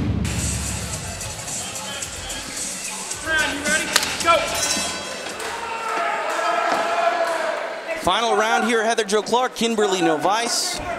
Strawweight action inside the Invicta FC cage. Nice kick there by the Brazilian to the lead leg of the American. Doubles it up. See, Heather probably didn't want any more of those kicks. She goes into a kind of a framed clinch position there. Mentioned some big breaths by the Brazilian in between rounds, but still very aggressive, far from out of this one. Mm-hmm. Knee to the back of the thigh. You can see some damage on the leg of Clark there. You know, she has eaten a couple uh, leg kicks there. Nice little foot stomp there. Seen quite a few foot stomps here this evening.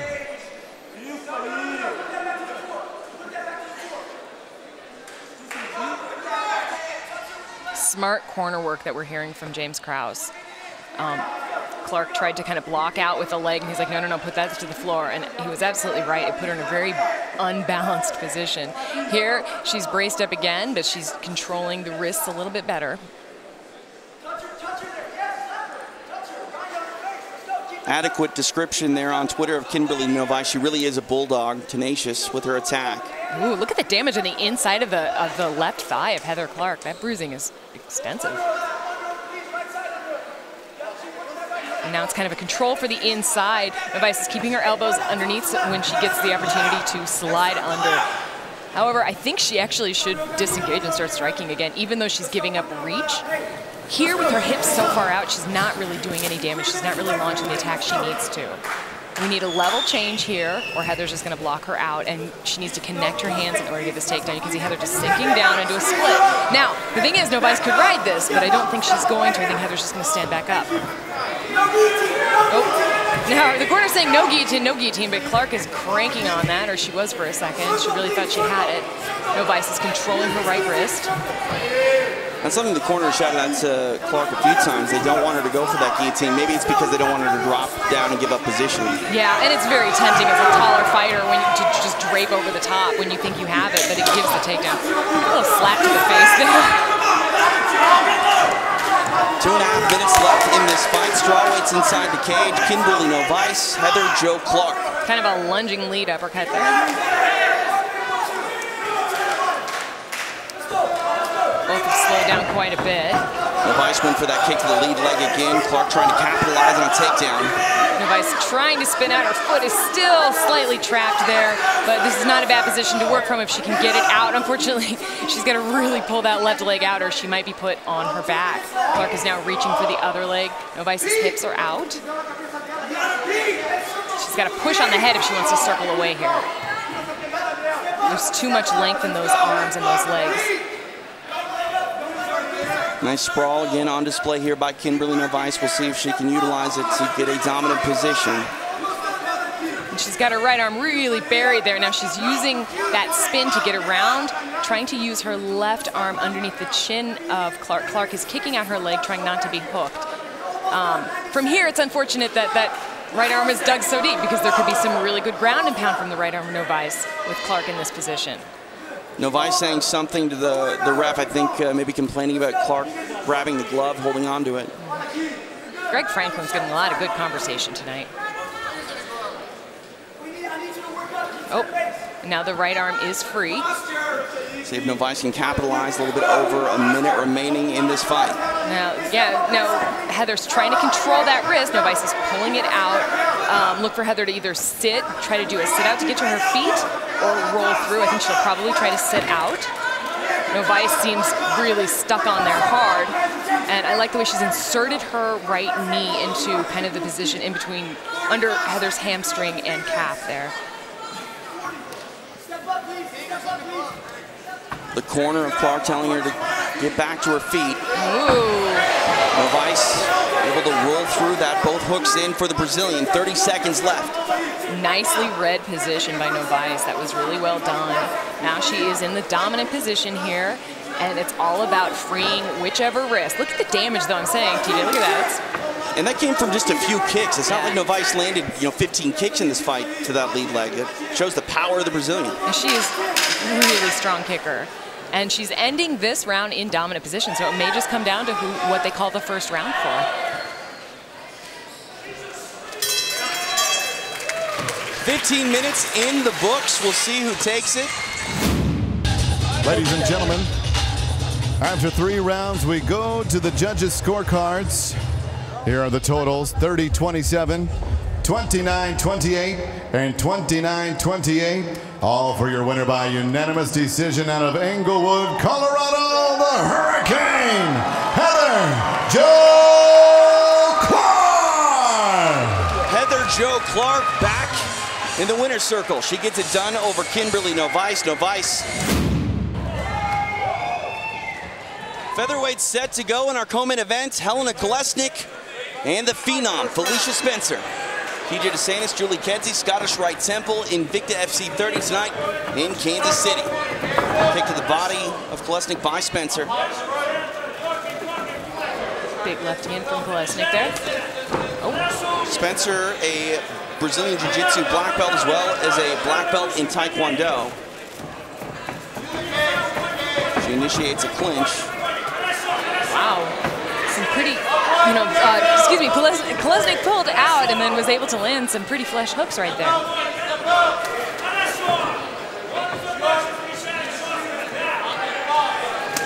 Kick to the body again by Spencer. And one thing that uh, you can find a positive in the performance by Kolesnyk that didn't go her way, she really didn't get to show any of her offense either. And you know, some of the other fights that uh, Kolesnyk has had are hard to find on the internet. Combination there by the Ukrainian. She's really got an angry look moving forward there. Um, the interesting way about the way Felicia St uh, Spencer stands is that she bounces back and forth, able to get those head kicks beautifully done. That was a really nice shot that she did.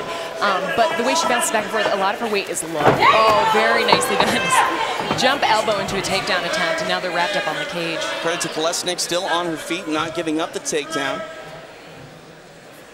90 seconds have elapsed into our first round.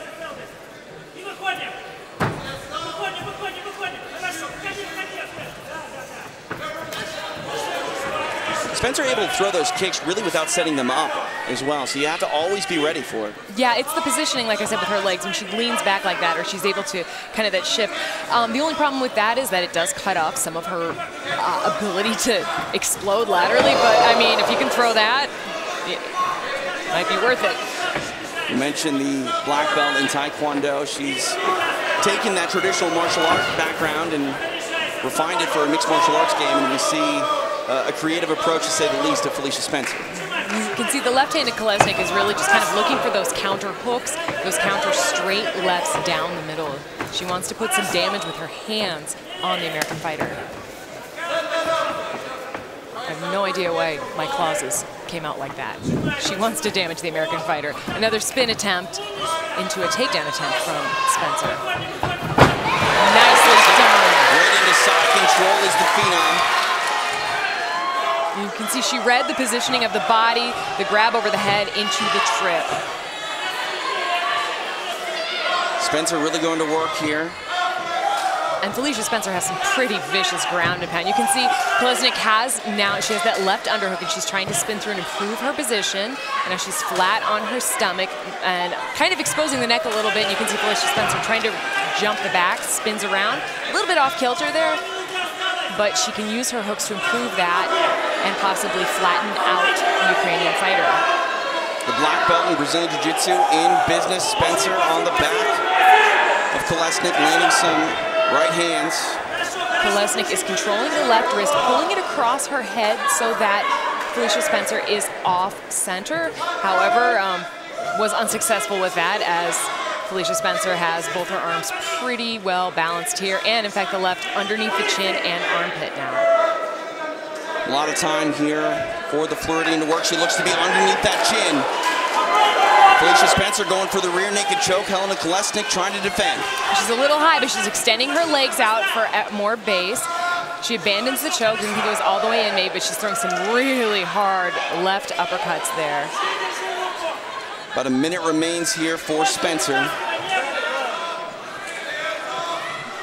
Mike England telling her to oh. knock her out the gloves. Now she's in business. Completely under the chin now, TJ.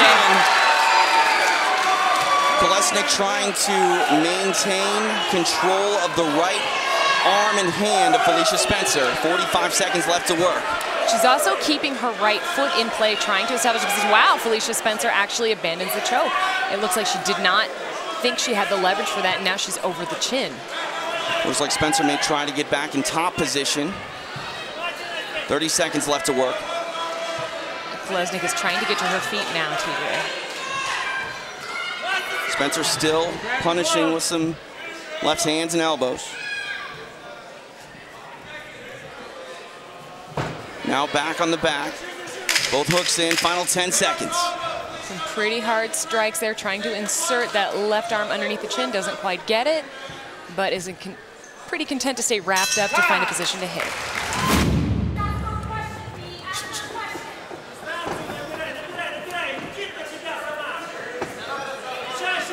Spencer able to use that lead left kick to set up a lot of things. You saw that now left kick comes high. Yeah, just such educated legs, the way she's able to flip them up there and, and find openings. You know, sometimes she misses with those spins, but it makes you not want to engage. Nice one-two there from Kolesnyk, misses. Saw that uh, lead elbow to takedown, but Kolesnyk able to get on top here. That was a done. nice hip read from Kolesnyk. She saw that flying kind of elbow attempt into the double leg. And, uh, but now Spencer's using the head grab to actually pull herself out. I don't know if that's a, is it a hair grab? I can't tell. But whatever it is, Spencer is now on top, on the back, uh, standing rear naked choke attempt, possibly. We talk about the adaptability of Felicia Spencer making the proper adjustment there. She made a mistake, but got the back, and now she gets a takedown. Very nice kind of lateral motion drop over the leg um, when it was all tied up. Now it's about kind of blocking out that elbow. Kolesnyk reaches up and the way she's locking down Felicia Spencer's head and arm does kind of prevent good ground and pound, but look at the way Spencer stepped her knee over into the crucifix to free her arm, and now it's elbow city. Kolesnyk's turning in, trying to protect her head and giving up her back once more. Spencer in control, a lot of time to work, trying to feed that right arm underneath the chin. She has it. Kolesnyk trying to peel the hand. Felicia Spencer in on this rear naked choke. Now she goes palm to palm. That's really deep there. She just needs a little bit more extension with Kolesnyk in trouble. There's the tap.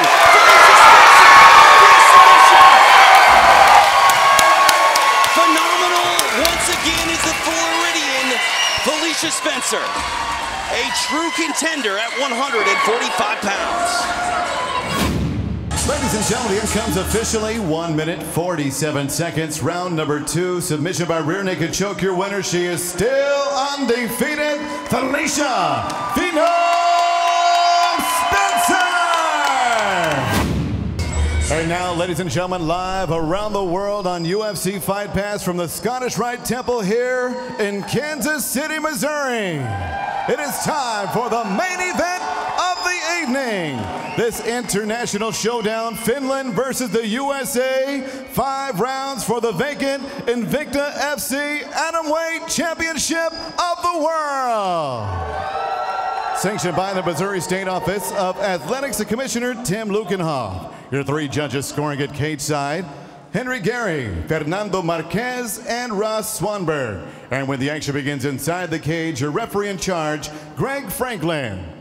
And now, ladies and gentlemen, the judges are ready and the fighters are ready. Kansas City, make some noise if you are ready!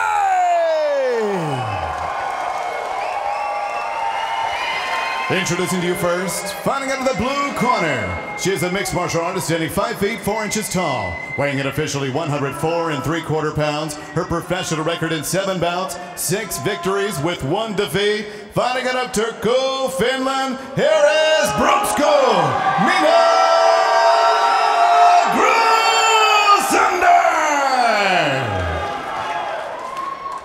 And her opponent across the cage, fighting out of the red corner. Also a mixed martial artist, she stands 5 feet 3 inches tall, weighing an equal to her opponent, 104 and 3 quarter pounds, in 9 professional bouts. Her record, 6 victories and 3 defeats, fighting out of Arlington, Texas, USA. Here is Jinh Yu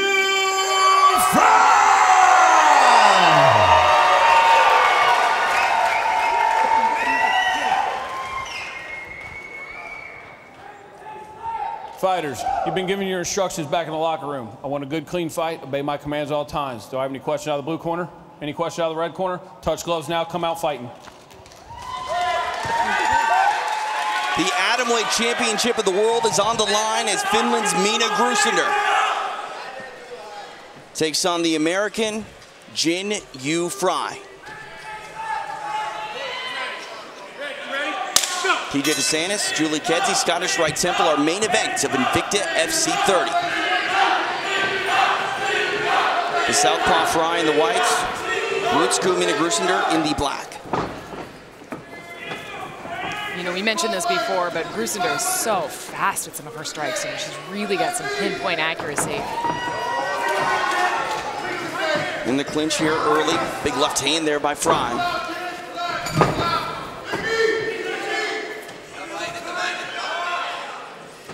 Real feeling out process here. They're definitely ready to engage immediately. Two of the best in the world at 105 pounds, fighting for the most prestigious title in the atomweight division. You can see Grusander's trying to drop her level now, grab a leg, um, secure a takedown there against Frey. She's also pulling the upper body back so that Frey, oh, nice spin out by Frey. Big left hand. Very technically sound is the Texan.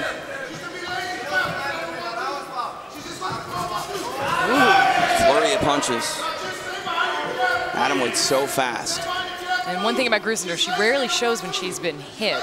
From, you know, from what we've seen, she's kind of ice cold in the face and just keeps moving forward. Yeah, very poised as Grusander. Her first fight against Fernanda Barjos, she had a huge weight cut, and she handled that with ease. She also ate a lot of overhand rights, if I remember correctly. Nice left there from Pradagan.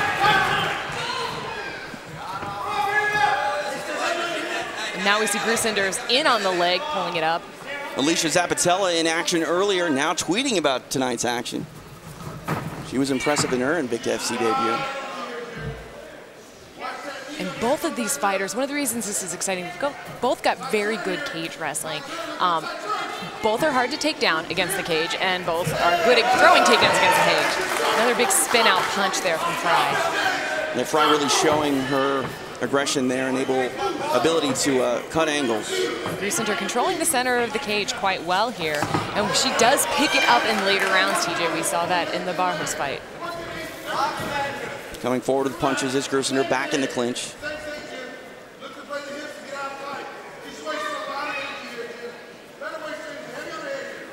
We saw Frey was digging with her left hand for an underhook. She's almost wrapped around the head, but she's really looking for cross face. You don't want to guillotine from right there because uh, Grusander's so tight in on her, she would just pull her to the ground. And you can see Frey's trying to drop her hips, split her legs, and get the weight off of her own, um, or I guess take the takedown away from the Finnish fighter. Now Frey paying a little bit more attention to that head. And she goes right for that guillotine when I say, I don't know if that's smart. And she's doing a nice job of kind of doing a transition. Grusander very, very deep on that takedown, looking to take the back almost and pull Frey to the ground. And she does. Sort of. Not Frey is still up a little. Yeah. We'll see if she can secure the position. Frey definitely not exactly where she wants to be. And Grusander has some very vicious ground and pound from this backpack position. You can see she's hooking that leg. She's going to try and drag Frey off of the fence so she can secure a better position on the back. Yeah, credit to Grusander for not getting overzealous here and, and trying to make something uh, that isn't there happen and lose a dominant position. Yeah, patience is all right here, TJ. It's really about these tiny inches. If Frey is able to get that elbow to the inside and not extended, she'll be able to get out, and she is. She's able to spin and get her back back to the cage. Nice adjustment by Jinyu Frey. Some shots to the side of the head of Grusander. And Grusander still has double underhooks, so she's still in a Oh, wrenches her down. The strength by the on display, some quick right hands by Grusander finding a home. Minute left here in round number one. Scheduled five five-minute rounds. Atom weight title on the line. Really, it's like a python with that pressure, shoulder pressure, dragging her down, and again, trying to find a position to ground and pound, expose the head, expose the chin. Trying to get free is Frey. Ooh, Grusander's on her back. I don't know if her right arm is all the way underneath. I can't see from this angle, but you can see Frey is trying a backdoor escape now from that back position. She may, I think Grusander, yes, Grusander's got her hooks in there. She might be trying to extend her out, and she's underneath at least the left armpit of Frey. Looks like maybe she could be trying to attack that left arm of Jinyu Frey. Yeah, it looks like it. You know, it was almost a triangle, but you see Frey's head pop out, but her left arm is now still inside in a Kimura. Time not on her side. Still could make something happen though.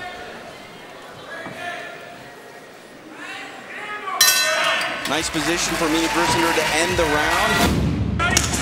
Round number two underway. Minna Grusander in the black, Jinyu Frey in the white.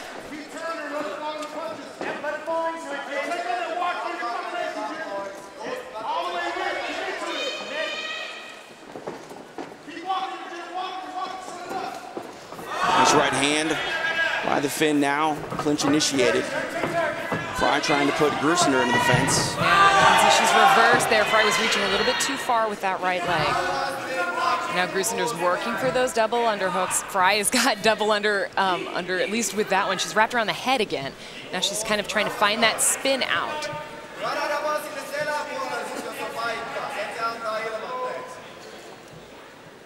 The amount of pressure that Grusander's putting on her with her shoulder and with her head is pushing her into the cage so that she's able to be leveraged up.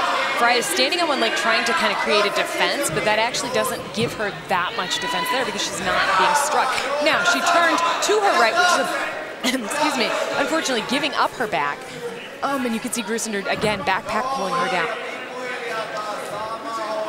Grusander in business here, trying to secure the position. Frey able to turn back into her. Now Frey able to circle off the fence, get back to space.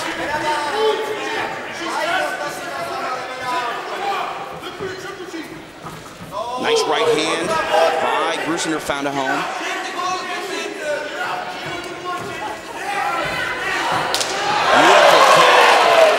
That was really nicely done there by Junior Frey. She read those angles beautifully, but unfortunately her back, oh, not back to the cage again.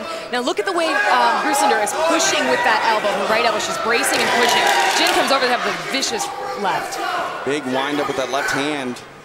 Then Jin kind of looked at it a little bit. I don't know if she hurt her hand in that punch or I'm not sure. Look at how upright Grusander is.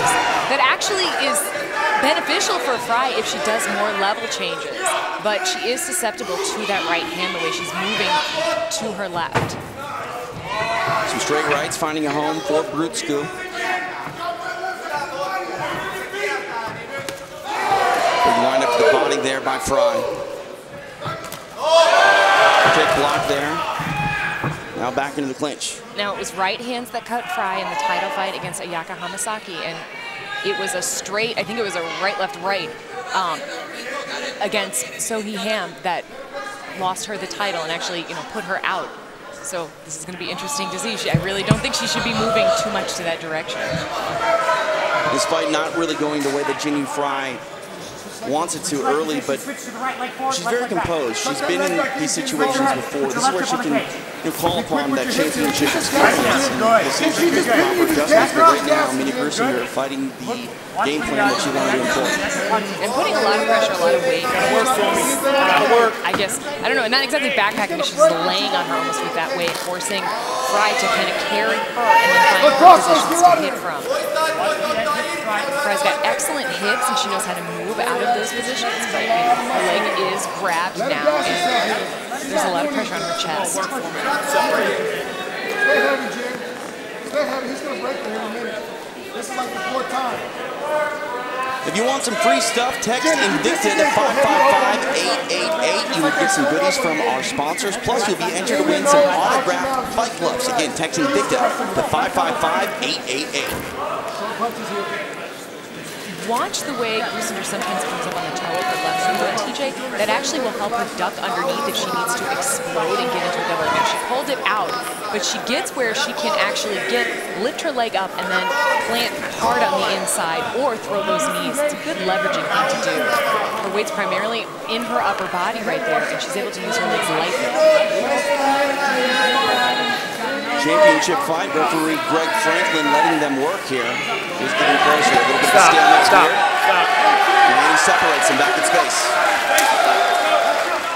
So Frey looked to her corner really quickly.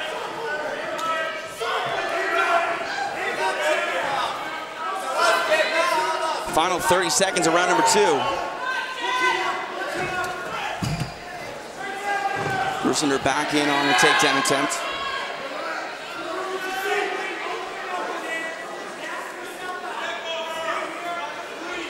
Frey's so smart in these exchanges, getting underhooks, splitting her legs, but she's also dealing with somebody just like really resting on her there. It's a frustrating thing to do defensively. Nice spin off. Ooh, to the kick again.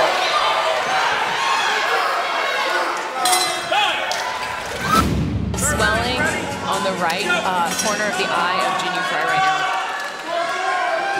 Again, TJ DeSantis, Julie Kedzie, Scottish Rite Temple here in Kansas City. This is our main event of Invicta FC 30.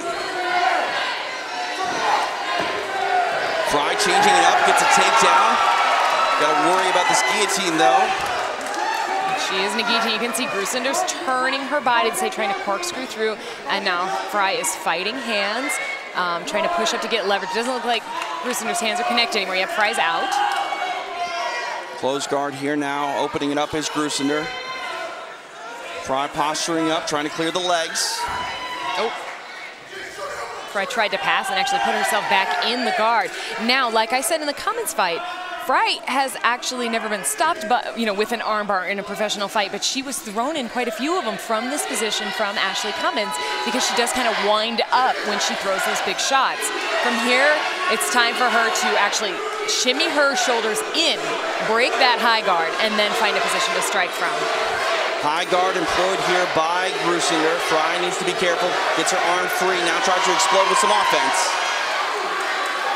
Got some international rivalry going on in the crowd right now. Chance of Finland and then USA.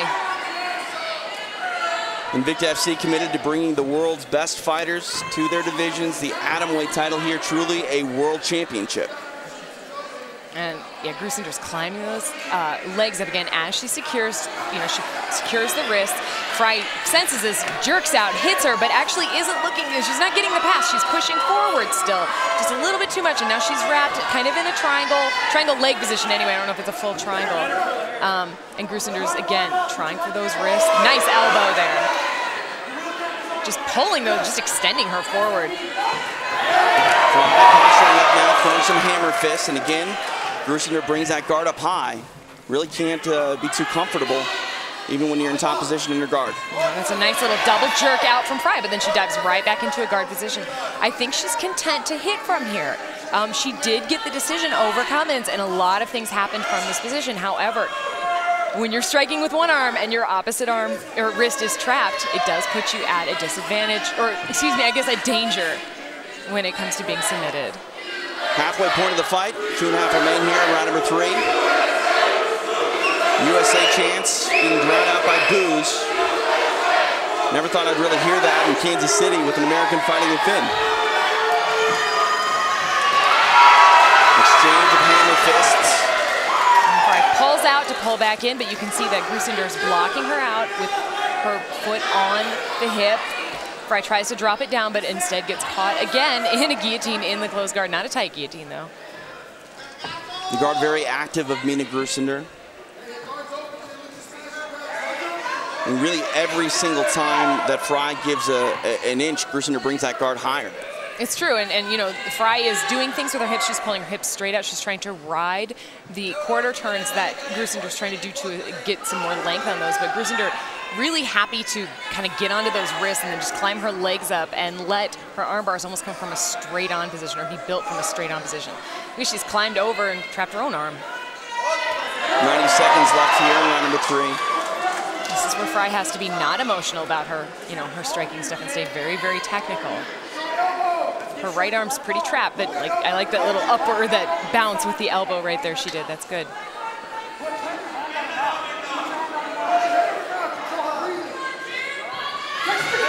Scramble up coming here. Grusander gives up her back. Frey. Wow. Very fast by. Is Junior Frey. Minna Grusander needs to survive. A lot of time here for the Texan to work. She's not quite under the chin, but she is across the mouth. Grusander gives a little thumbs up to Greg Franklin, um, but flattening her out right now is very smart of, of Frey to do. Now you can see Grusander's trying to work a backdoor escape. She's trying to free her legs. Her feet are in motion, trying to move position, and she's staying patient as her mouth is being kind of squished. Now you don't necessarily have to have the arm under the chin to elicit a tap. You can crush that jaw. She gives up on it for some left elbows. Has to move. Yeah, you're right, TJ. I was very enthusiastic about that. Yes, you can crush the jaw, and it's extremely painful. Um, and can do damage to the lower teeth as well. We see the veteran savvy here of Jinh Yu Frey. She was down early in rounds number one and number two, but this third round firmly in the books for her. And Grusander again trying that high guard with the right foot on the hip and the left leg climbing up.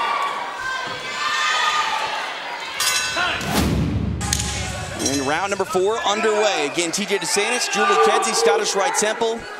Minna Grusander in the black, Jin Frey in the white. I love the discipline of Grusander's hands. You know, they're so quick and they come right back to her face every single time.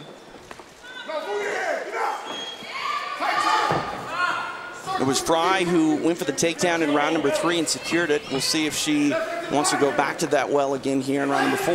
And I think that's a good idea for her in that her movement seems to push her back into the cage right here.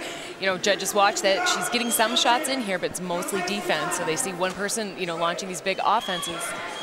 And it's hard to win rounds, you know, in this pattern. This is what we saw in rounds number two with Minna Grusander controlling Jimmy Frey. It's hard to win a round when your back is against the fence. So we've got a little elbow smash back and forth here. Um, there's a nice brace from the left uh, arm of Grusander across the neck of Frey, which must be very painful. Blood is, I believe, coming from the, what is it, the right side of, of Frey's head. It's hard to see from this angle. Somebody's bleeding, TJ. You now you see- see Grusander's dug in again, Now, there it is. It looks like uh, maybe in the hairline of Frey. which is actually not a great place to be cut because that can drip right into the eyes. And look at Grusander's changing her level. She's muscling down into that high crotch position. She abandons it. Frey's able to pull her back up. Nice knee on the inside there by Jenny Frey. You see Grusander's trying to use her right arm across the hips to extend that left arm and probably throw another elbow with her left hand. Uh, Frey sees that. There's that elbow. There's the right elbow, too. You know, Frey was trying to control the wrist there, but she wasn't able to sustain it. Very gritty fight here up against the fence. Minna Grusander has cut open Jinyu Frey. Three minutes left to work in round number four. And they're both such physical atomweights, TJ. They're both so strong and really in tune with the way to use their hips and their bodies to get control of these exchanges. Um, right now, it's all Grusander, you know, putting pressure on Frey. Ah, nice spin out again.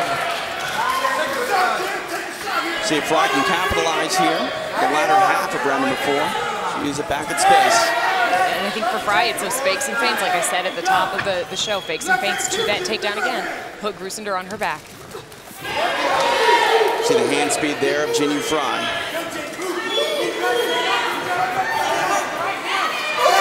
Grusander going to try to react. And I'm thinking they game planned for right or left hooks to the body there, but they're not really as effective for Frey as they might have been earlier in earlier rounds. I think she needs to hit over the top of that guard and again shoot for takedown. Oh, this is where Frey had success in the third round, but now Grusander trying to back up into the fence and maybe stand. Incredibly savvy movement there from Grusander. She's now in a position to extract a leg that she's back up on the fence, and she does so. Nicely done by Finland's Minna Grusander. It's really hard to control somebody's hands there. Nice. Back at space, Grusander immediately takes the center of the cage. She wants Frey's back uh, on the perimeter.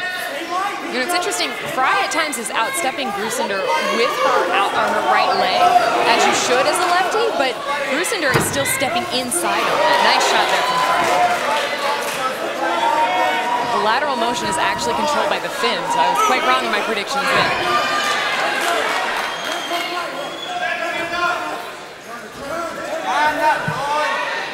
Looked like Frey was trying to initiate uh, the clinch there and maybe make something happen, but Grusander puts her back into the fence. One minute remains in round number four. And by extending her right arm out, she's trying to block the hips of her opponent up against the cage and then use the uh, left arm, extract the left arm and do work with it, or use that for hooking positions to open things up. It's smart. It's good fighting. Um, you can see Frey is digging for that underhook. She does not want that kind of leverage against her.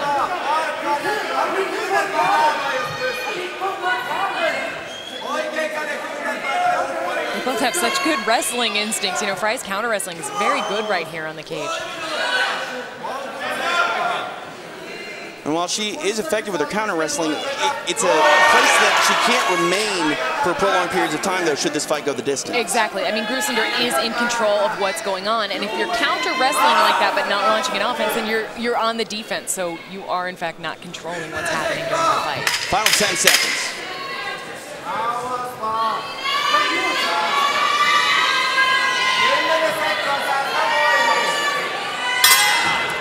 Well, four rounds in the books. Minna Grusander implementing the game plan that it appears that she drew up, but we see some swelling underneath that right eye. You can guarantee that will be a target for Jinyu Frey in round number five. Yeah, um, and honestly, I think that may have come from those little elbow exchanges that happened. I didn't see any particular left hand land flush, maybe earlier on in the fight, um, but not in this round. But I did see some really, you know, they kind of went nuts on each other. Elbows in the clinch. Scottish Rite Temple coming alive. An atomweight champion will be crowned. There's only five minutes left for these ladies to work. If you're in the corner of Jinyu Frey, Julie, what do you do to ensure that this title's coming home? She's got to put her on her back and she's got to finish her. Uh, you know, uh, right now I only have one round securely in Jin's favor. That doesn't mean she hasn't gotten more. She's definitely had a lot of output when it comes, with her back against the cage, it's hard to see how people are going to judge that. And I think the Finn has controlled much of the action in this fight by pinning her. I'll co-sign 100% right there. Minna Grusander having a lot of success here. 20 minutes in the books. Will the second Invicta FC Championship be headed to Finland? Or will Jinyu Frey get the title that she has wanted for so long? We will find out. Fifth and final round underway.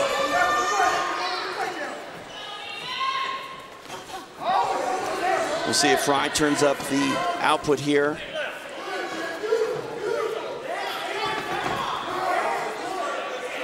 She's attacking that leg, the inside of that leg, very well, but not doing anything when she lands it. You know, I think there, there has to be some sort of effort for more offense after that. She's hitting it, but it's not stopping the motion of her opponent. Frey, I mean. Minna's just kind of stalking her down.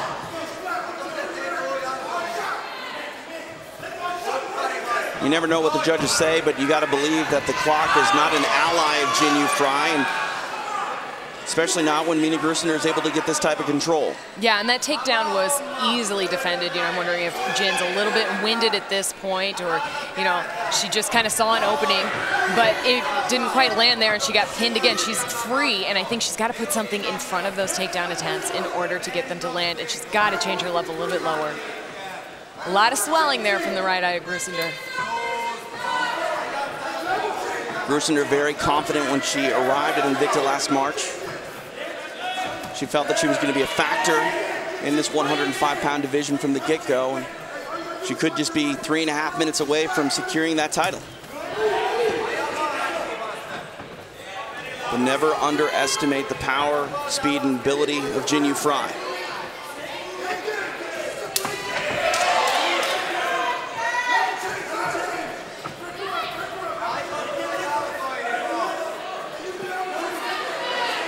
We are on Twitter at TJ DeSantis, at Jules K underscore fighter, at Invicta Fights, hashtag Invicta FC30. Guys over at Sherdog.com watching tonight, we appreciate that.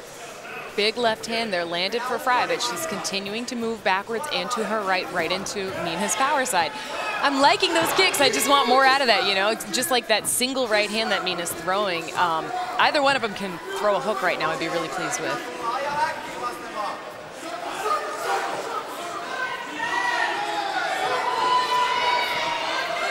A lot of movement here from Frey. She's trying to make Grusander react and then come over the top.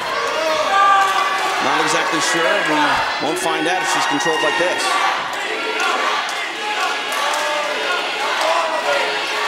Crowd coming alive here in the Scottish Rite Temple for Minna Grusander. Frey able to get free. You can see she was spinning off and probably trying to throw some kind of knee to the head, but was unable to do that. Um, is backing into the cage, though, again.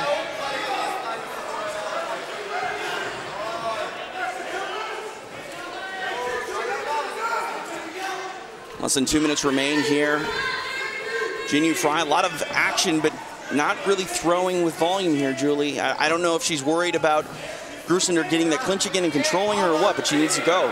She does, and honestly, that left hand that she threw earlier was just beautifully. It landed very well for her. I'd, I'd like to see some more of those. Um, again, just stalking her down, like, just like, I mean, it's, it's just her technique is just really beautiful, the way she's using her footwork to go through. Um, and Jinh Yu Frey has such nice lateral motion, but she keeps going right into that power side. And it's, it's a little worrisome. She's throwing a really nice left kick to the inside leg, but need more volume. That was a longer way of me saying what you just said, I think. You sounded better.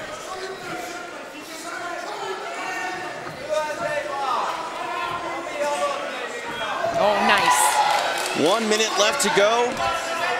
The Atomweight title on the line. Minna Grusander could be seconds away from it. Jinh Yu Frey throws that left hand.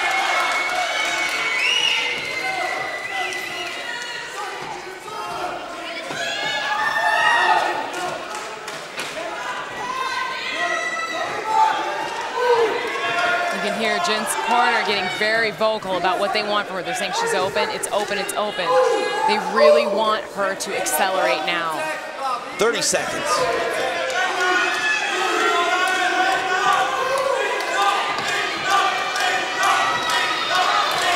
It's one thing to say that you will be a champion. It is another thing to actually go out and do it. Minna Grusander showed up with confidence. She talked the talk. And tonight, she's walked the walk.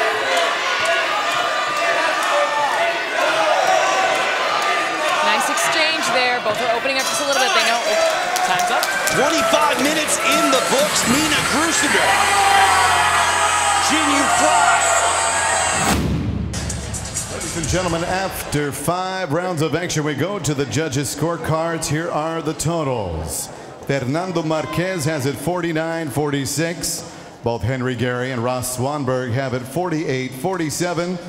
All three for your winner by unanimous decision, the new atomweight champion of the world out of Arlington, Texas, Jim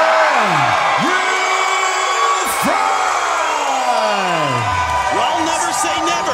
Jinh Frey captures the title she desperately wanted, and she'll speak with Laura Sanko.